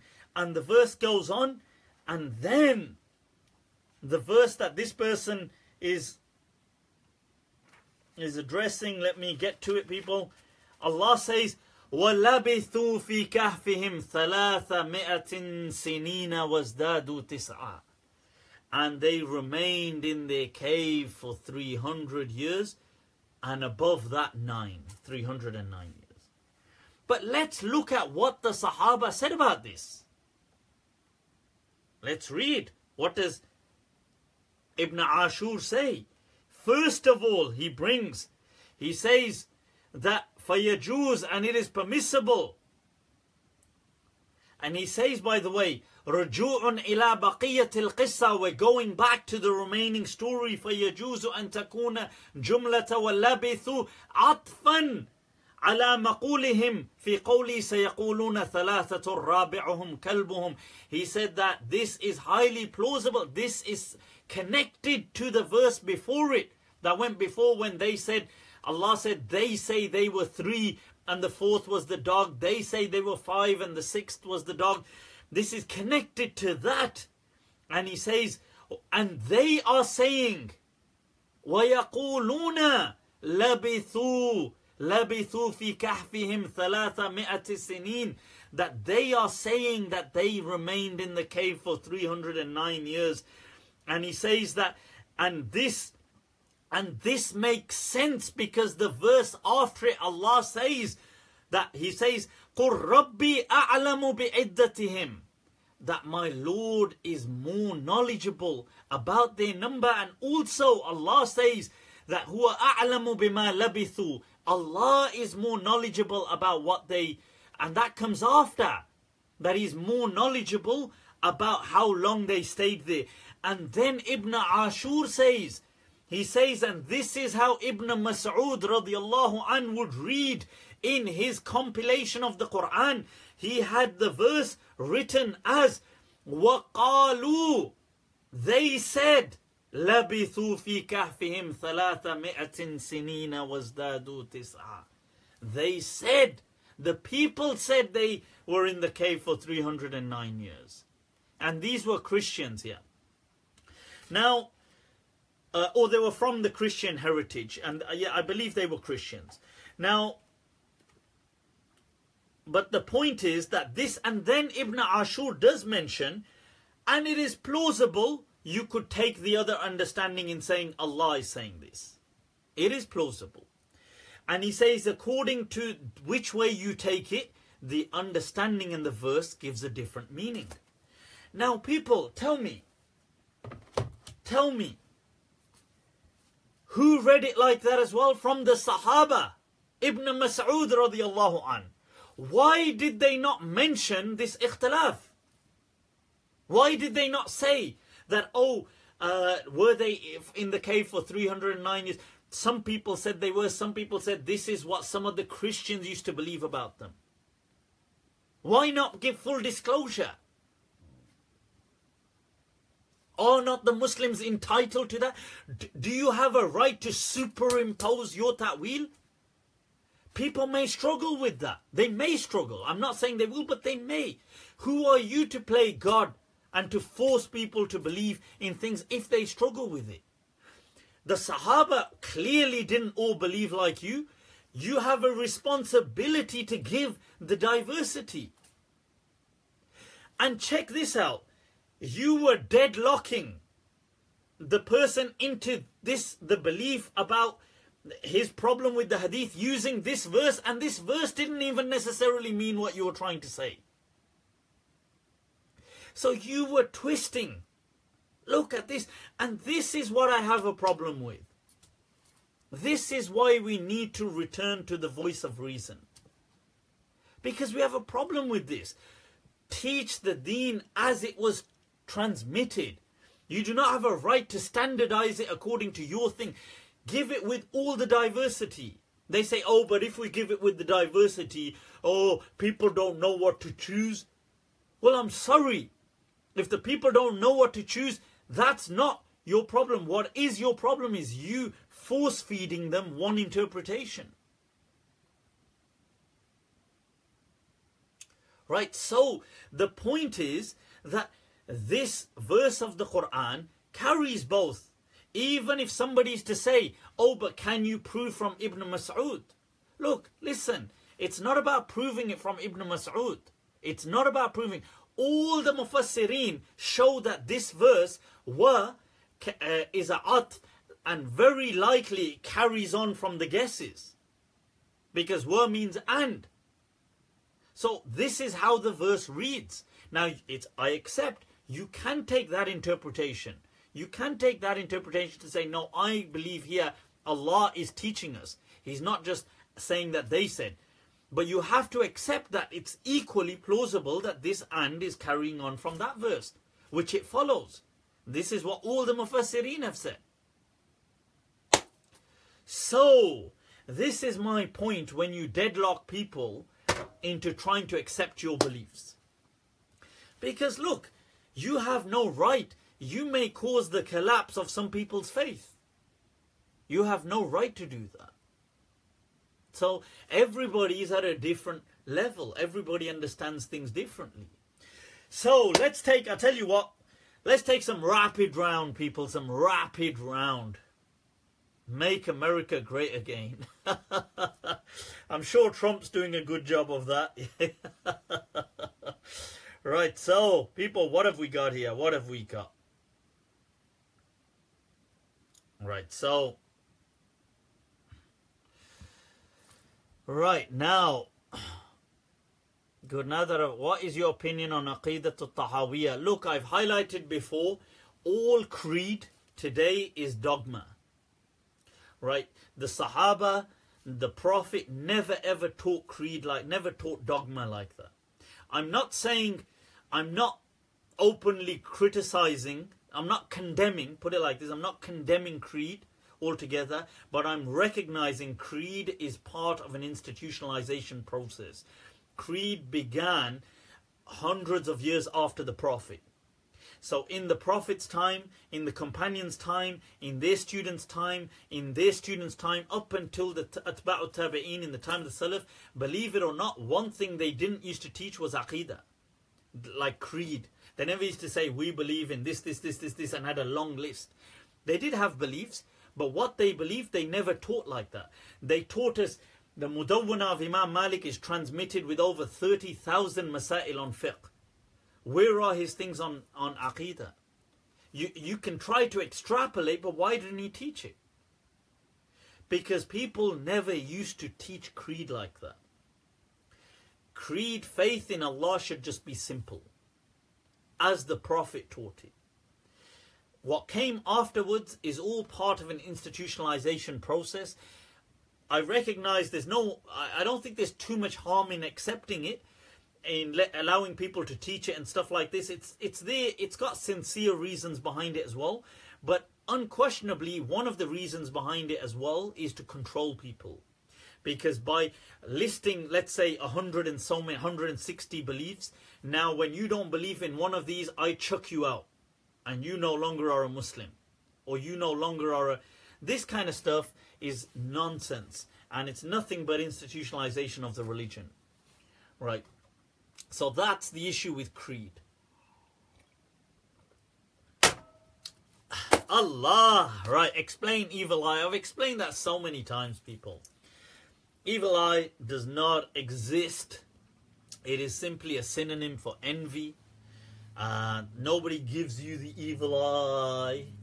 Grow up. ah, grow up, people. Grow up. Leave superstitions, leave karma, leave evil spirits, leave voodoo, magic, exorcisms, demons, fantasy religion. See, the problem is people struggle with reality. That's the problem. You see, the problem is people struggle with reality. Reality is too scary for them. Religion needs to be fantasy. It needs to be like superheroes, and all these kind of fantasy sci-fi stuff going on for them to accept it as religion. If it was just Alright, Bash is in the house, people. Alright. Right. If it was just real, like, oh, everybody was just normal and real, just like you. There was no fantasy things going on. All of a sudden it becomes too scary. And this is why the people in the time of the Prophet struggled with the message because it was too real for them. They wanted this fantasy religion. They said, Oh, why don't you show us this and make all these miraculous things and bring things down from the sky and have a garden over here and let's have fruit out of season and let's do this and oh, let's have warriors fighting things and super kind of demigod kind of warriors and do. Th-. The prophet was telling them, look, I'm just a normal person. I'm a human being. You see, reality is too scary for people. They can't embrace it. Um, what is the punishment of missing a prayer? Well, making it up. Listen, people, we need to stop obsessing with all these punishments, punishments, punishments. Okay. Sure, if you look through the Quran and Sunnah, you can find that angle if you want to focus on that angle. Like if you want to go kind of mining out these kind of quotations to build a perspective like that, you can do it. But I don't believe that that is the true, the kind of message, the, the heart of the message of Islam. The message of Islam is look, why don't you want to pray? It doesn't take long. At the very least, pray the fara'id, pray the obligatory prayers. Even if you're late, just pray it. It's the obligatory prayer. It's it's your connection with your creator. What's the big deal? It doesn't take too much time. If you've missed it, make it up. You know, if you if you had such a busy day and you didn't pray or you're somebody who doesn't pray much and it's before you're going to sleep, just pray. Pray the obligatory prayers of all of the fara'id and just go to sleep. Now you might think, you know, you might think, well, oh my God, oh my God. But really, is this not how the Prophet dealt with people? I tell you, let me share a hadith with you people. A Sahabi, a companion, came to the Prophet. Safwan ibn Mistah. I believe it was Saf- Safwan ibn Mistah. But a companion came to the Prophet wasallam, and he's his wife actually came to complain about him. I've shared this before previously, and as it goes, so obviously they were newly married, and I think it probably been a little while, and she went and she complained and said, "Oh, the you know to the prophet, he doesn't do this, and he stops me from doing this, and he stops me from doing that, and and oh, and he doesn't even wake up to pray his salat subah. He doesn't even pray his fajr." Don't you love those kind of criticisms, by the way, the religious ones? They're like the you know people go, hmm, he doesn't even pray. and like so so now the prophet calls this companion and he says to him look uh, don't stop her from doing this and don't stop her from doing that and that's fine. I think she mentions two or three things and uh, two things in the and the third thing he says and what's this i'm hearing that you don't pray you don't pray subah so listen to i want you to listen to the response the person gives. He says that Ya Rasulullah, Ya Messenger of Allah. He says, Inna qawmun la nastayqidhu illa ba'da tulu'i shams. He says, we are a people like our kind of tribe, our sub-tribe, that, that tribe he was from, from the outskirts of Medina.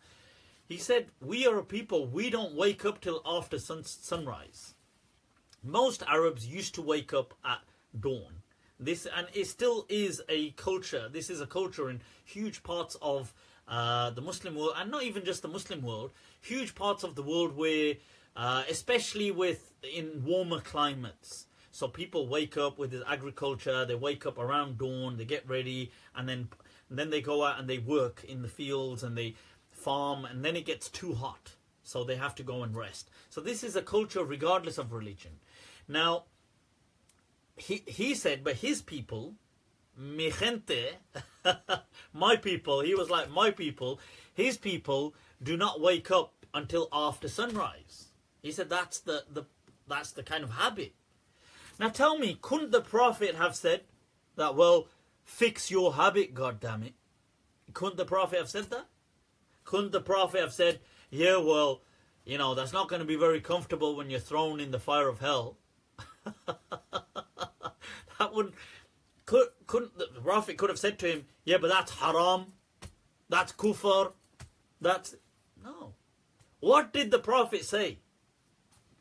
The Prophet said, he said, he said, فَإِذَا اسْتَيْقَظْتَ فَصَلِّ He said, okay, when you wake up, pray. sallallahu alayhi wasallam, the messenger of God, rahmatan lil alameen, a mercy, a paragon of mercy for the world's people. Today, scholars are too scared to give that kind of fatwa.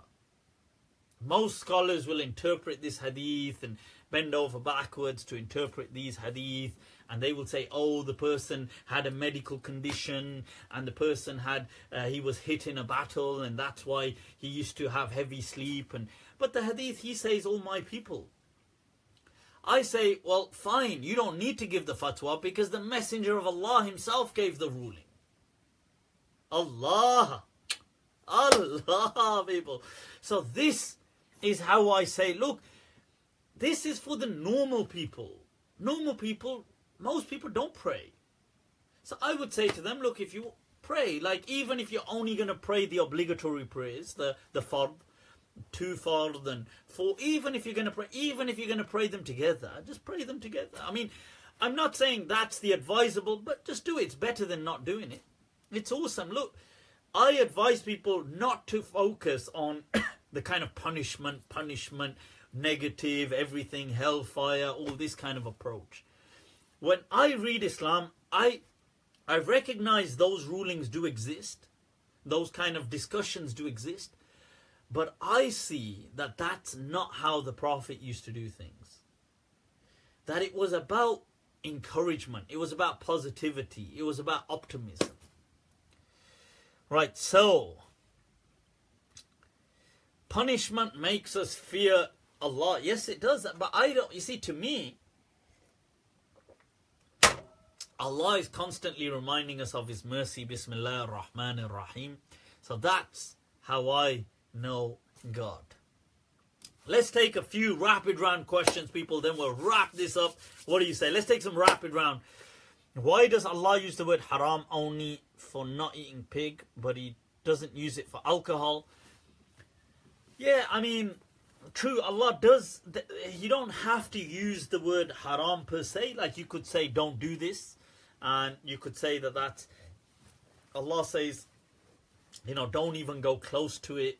Don't. These are different ways of making something haram Allah does say, you know, these things are from rijs. These things are, uh, they've got that kind of, uh, you know, people would translate these things as impure, but they've got that kind of uh, wrongfulness about them, that they are from the, the work of the devil, as in they lead you to fighting, they lead you to doing all these kind of things. So these verses do exist. You don't have to, to say something is forbidden, you don't have to use the word haram. You can say that.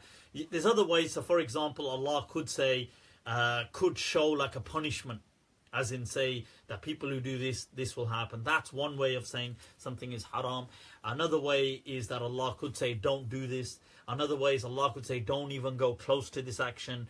So there's different ways. It doesn't have to be that.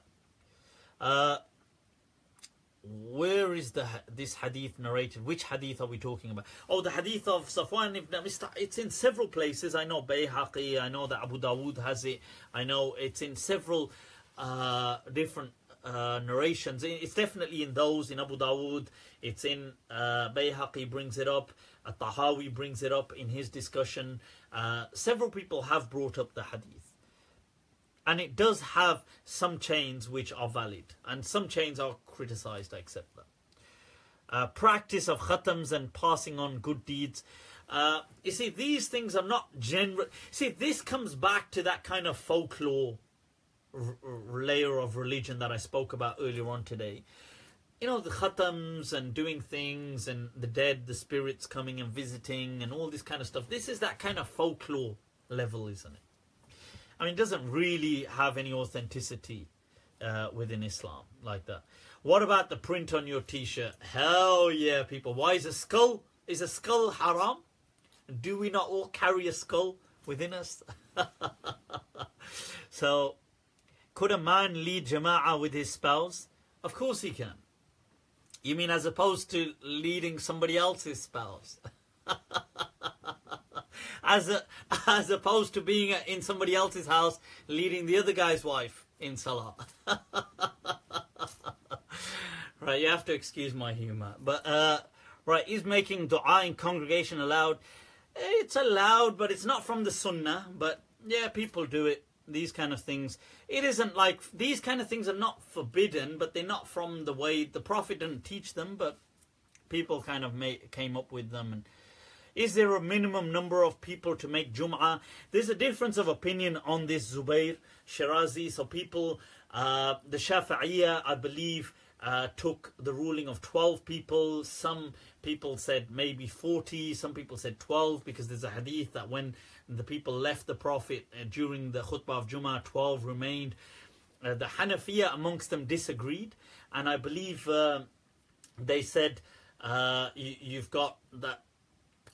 I believe the understanding is that Abu Yusuf, and I could be mixing this up, but I believe Abu Yusuf said that three, including the Imam, and Imam Abu Hanifa said no, it just needs two, one Imam and one other person or worst case, I'm mixing up Abu Yusuf and Abu Hanifa, but that's within the Hanafi madhab. I would actually personally agree with Imam Abu Hanifa and, and the Hanafi understanding here that Jum'ah is permitted regardless of the number. Uh, because if the number was necessary, surely the Prophet would have explained it. Can we eat McDonald's? I mean, it depends what you're eating from McDonald's. So if you're eating fries, yes, you can eat fries and things like that. What do you say to those who accuse you of denying the unseen, who accuse you of denying the unseen, a pillar of iman? What unseen? How am I denying the unseen? Unseen is Allah is the unseen. Revelation is the unseen. We've not seen the messenger of God. Uh, I don't deny these things. A life uh, that there will be a, a life after. I don't deny these things. When you're saying, are there other creations like the jinn? I don't deny that there's other creations, the jinn. What do they look like?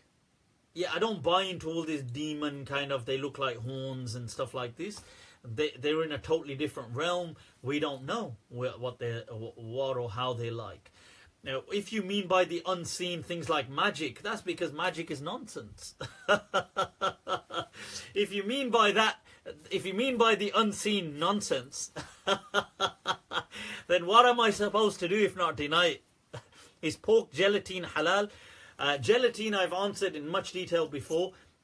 There is a difference of opinion on several ulama, with several ulama, people like uh, Abu Yusuf from the Hanafiya, uh, Ibn Abdul Hakam from the Malikiya, and other people as well who have said, look, transformation in these things renders it halal. So even in the Hanafi madhab, you will find these fatwa that if bones or these other things um, if they're crushed or they, they're transformed, uh, they have a chemical transformation, which in Arabic you call istihala. It transforms a substantial, overwhelming part characteristic of it. It becomes halal. Based on that, all gelatine would be permissible. So, uh, personally, I don't necessarily opt for gelatine, but I don't say like, can I have the most haramist thing you've got here? But if something had gelatine, to me, it wouldn't really be much of a problem. it's not like haram has stopped me.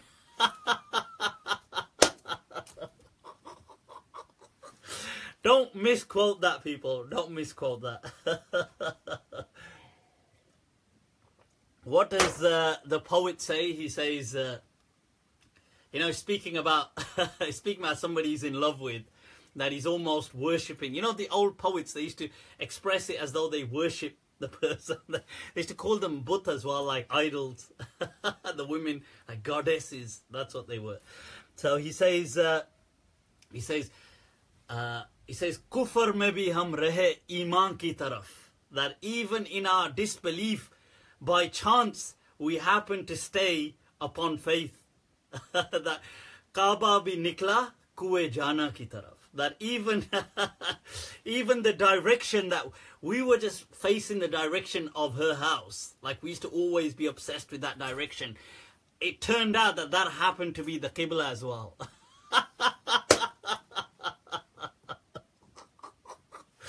so that ah, what a poem, man! What a poem. And he gives uh, a he says in in another there's another one like that where he says Aziz Mian actually says it in his Qawali where he says he says that I prostrated that मैंने Kaaba समझकर jukai जमीन that I thought it was the Kaaba like I thought this was the Qibla so I prostrated तेरा संगे दर हो तो मैं क्या करूं it turned out to be your doorstep that I was prostrating at. What am I supposed to do about that? I, to- I tell you, I totally love the audacity and the confidence of the early Urdu poets.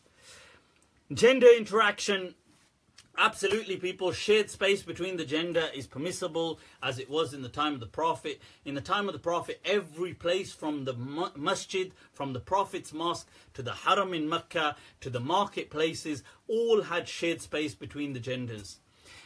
And so gender interaction was always taking place.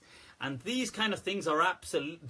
You see, people people say, "Oh my God, oh my God! If you're gonna have gender interaction, everybody's gonna be committing zina. Everybody's gonna be oh, they're gonna be committing." Uh, you know, oh, if people go out, then she's gonna be some like that guy said when he was trying to refute me. Oh, he says that men and women can, if they wanted to meet each other or if they were interested in marriage, they can go on these dates in public places. He goes, oh, so if your sister goes out, what is she gonna do now? She's gonna fornicate. She's gonna phone it. I mean, seriously, why do they? I don't know what world these people live in because either. I'm telling you, most men must be thinking, if only. if only every woman you spoke to was just like, yeah, I'm totally. Now that you've spoken to me, I'm totally up for this. Like, anything you want. That would be like a man's dream. I'm serious. Uh, oh, does that happen in his world? Like, can we come and live in his world? where, every woman, now that you've just had a conversation, it's like, yeah.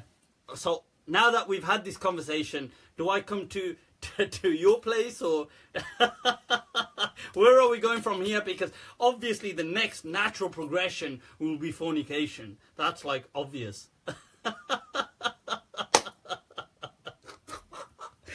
you know, they one. I don't. I, it just. I'm like gobs. I think bloody hell. I must be a recluse. it must just be the people around me are weirdos, but around these people, everybody's like just chilling. and then the second thing is, why do they look so down upon like their sisters? They go like, oh, if our sisters were to go out, they're just gonna fornicate. Like, I mean, why do you have such a like a like such a derogatory view of your own sisters like that? That's just that's for God's sake, behave. Like what? What the? like, like what? What do you think? Like oh, that they just absolute. Like you look at them as though they're absolute free prostitutes. like, and, uh, and, I mean, first of all, the world isn't like that anyway, and all men probably wish it was, but it isn't. Secondly, right, that's such a derogatory and suspicious way to view your own kind of women folk. But anyway, anyway, people are people. What is the fatwa on cheese? Cheese, it's all good, man. Don't worry about cheese. Cheese is permissible. Any last few burning questions, people? We're to wrap this up. Are you high? as high as a kite. As high as a kite. Leslie. Right, so what, Mufti, are you on Team Ivor? All right, I tell you. Whoa. Whoa. Can't wait for the next episode, people. Shout out. Shout out going out, people. Shout out. Brothers Curtin, shout out. All right, there you go. Going back, how would you answer the hadith when the Prophet told her to wash away her haid blood? How would you answer the hadith about when the Prophet told somebody to wash away menstrual blood? Yeah, because people don't want to see menstrual blood. People don't want to see snot. you know, if you if your snot landed on your shirt, people don't want to see. if you're like if you're like this, like like here, now that I've got all this snot, let me just hang it on my shoulder and just walk around with snot. Why is it impure? People don't want to see menstrual blood or sperm or if you're going to say about washing away the sperm in the other hadith, or even things like this mucus coming out of your nose, nobody wants to see it. So there you go. Right. Adam Aslam. All right. Doing it, doing it. Aziz Mianite. Hell yeah, hell yeah. Right, people, I think I can't see any more questions. I think we should wrap it up. But the washing could have been because of Najasa. Yeah, it could have been, but it could have also been because nobody uh, absence from Friday Juma haram. Absence from Juma in this part of the world, if you're working and things like that. If people are working, I don't believe it's necessarily haram. I believe they are excused. They don't need, uh, because Juma, there's a discussion that what is the purpose of Juma? Is it more a kind of public statement that Muslims are making as a collective, or is it more the ritual? Uh, or is it, a, it's definitely a combination of both, but which one preponderates? Allah preponderates, people, preponderates. So those who felt that it's more a public statement would, based on that understanding, you would say, well, since this isn't a Muslim country anyway, and it's not so, Juma, all, the public statement has a political factor in it as well. And that's why always the rulers' names are mentioned and the public get to know who the rulers are and stuff like this. So in non-Muslim countries, that kind of stuff, it really only has the ritual side. So based on this, if you were working, should you kind of say, oh, I'm going to quit my job for the sake of Allah? I mean, look, you can quit your job if you want. It's totally your call. It's your life. But do you have to quit your job because you're going to ha- uh, have to go pray Jummah? In my understanding, no, that's not true. Jummah can be left for many reasons. Imam Malik himself, the great don and legend of Medina, never prayed in the masjid for 25 years. 25 years he never went to the masjid. And when he was asked, he said, he said it's for issues, and some people said it was for his medical issues, but that's not what he said in his riwayah. He said that because if he went he said he just can't put up with some of the things that were going on. So he said that, I, so I'm just boycott. but he was a legend. Imam Malik all the way. Right, so opinion on strict Quranists. Look, I, I totally disagree with abandoning the Sunnah. The Sunnah is what carries this deen. But I make a distinction between the Sunnah and the Hadith. Sunnah and the Hadith. Imam Malik made that distinction. Imam Abu Hanifa made that distinction. Imam Shafi'i didn't, but okay, Imam Shafi'i aside, but the dons, the heavyweights like Imam Malik and Abu Hanifa made that distinction. Sunnah ala ra'si wal ayn, but as to, as to, as to, as to hadith, they can be questioned. Not every hadith reflects the sunnah as Imam Malik taught right? So, yes, and the problem with this kind of dogmatism and hadith absolutism is then you present weird hadith. You're stuck with weird hadith like the one about Moses, alayhi salam. Uh, and, and these are derogatory. And then Muslims struggle with that kind of belief. And you find like contradictory hadith, and you find hadith that are like insulting and hadith which are blasphemous like the, the one in Sahih Muslim that the Prophet sent Ali radiallahu anh to kill somebody and when he got there for adultery then he realized oh the guy didn't even have a penis so how could have he committed adultery? And it was a mistake. And then they let him off and and this kind of this kind of nonsense. So look let's be this is why I love the way that Imam Malik kind of highlighted for us Imam Malik brought Sahih Hadith and he said, وَقَدْ لَقَدْ وَرَدَ الْخَبَرِ The khabar has come and we do not accept it because we have no idea what it's on about. لَا نَدْرِي مَا حَقِيقَتُهُ This is the wording of Imam Malik. And he paved this path for us. And many people before him, so that's what we take. I hope that makes sense, people. Is covering the hair compulsory for women? The general understanding people would go with is yes, uh, there's been some difference of opinion. Um, especially more so in this day and age. I think people like Sheikh Khalid Abul Fadl from America, I believe he's in America or Canada, I could be wrong. But he's he has his Usuli Institute. He's given the understanding that, uh, and other people, and some other people, that covering the hair is not an obligation. The main thing is modesty in Islam. That's his view. That's several people. I think it's an interesting debate. I I do think that the main emphasis in Islam has always been modesty. Uh, Ibn Ashur in his tafsir doesn't go into who disagreed, but he shows there was some disagreement about the hair. And um, and then there is a fatwa about Imam Malik about a woman with her servants and her slave men. And he says, Imam Malik says that the woman doesn't need to cover her hair in front of those those kind of men that she that were her slave men, whereas normally people would say she has to. So Imam Malik obviously made some distinction.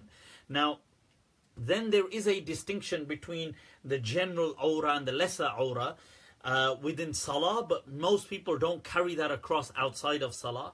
I would say, look, in the West, where people are struggling, where people don't, you know, we don't have this kind of uh, this this general kind of culture. The main thing is modesty, right? As long as you're doing that, that's what I would say. And let people, everybody's living their individual struggle. And look, there is a diversity within Islam. And these things like hijab and hijab today seems to be this this is a new this is a new fallacy that hijab in the last 100 years seems to mean this head covering never meant that in the past ever ever ever they used to they call that the khimar and there were never books written on the khimar ever right so now you've got tons of books on the hijab which means this this is not something in the past that used to happen this is a recent modern phenomenon and it's a reaction to the modern world. So, uh, certain people in the Muslim world are trying to reinforce what they're calling an Islamic identity to contrast what would be the, the Western identity. And I just feel in, in, in this kind of warfare, this cultural warfare, there's some casualties of war. And people need to go easy with that kind of stuff. That's my understanding anyway. I think, uh, and you know, the main thing is modesty. That's that's the main. Thing. I hope that's been of some help, people. Are you allowed to roll up your trousers in salah? You can do whatever you want. Just don't roll them up too high. but this rolling up for salah is nonsensical. There's no such ruling that for salah you need to roll up. In fact, I would deem that a bid'ah, an innovation, if people just roll up for salah, or it would be at least discouraged. Right, people, I think that's going to wrap it up. Can the Jummah khutbah be delivered? Uh, it can be delivered in both, in Arabic, and you can do a little portion of Arabic and the rest in English. Yep, so in the Quran it says, Yudnina alayhinna min jalabibihinna.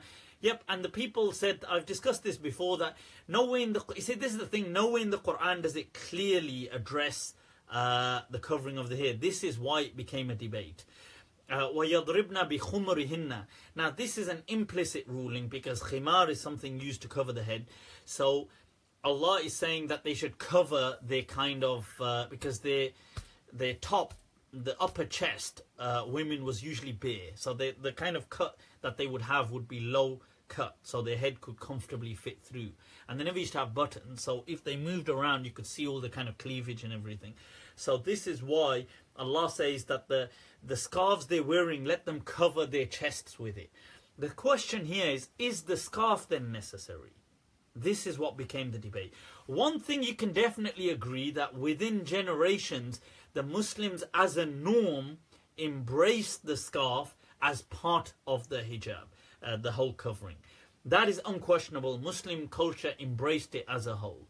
So but does the debate still remain as an academic debate? That's why I mentioned people like Sheikh Khalid Abul Fadl and other people. I know, uh, uh, uh, what is it, Allama uh, Javed Ghamidi and other people as well. I think there was an article mentioning about five, six scholars around the world who have who have mentioned this view, and I think some of the Al Azhari ulama have mentioned it as well, and other people.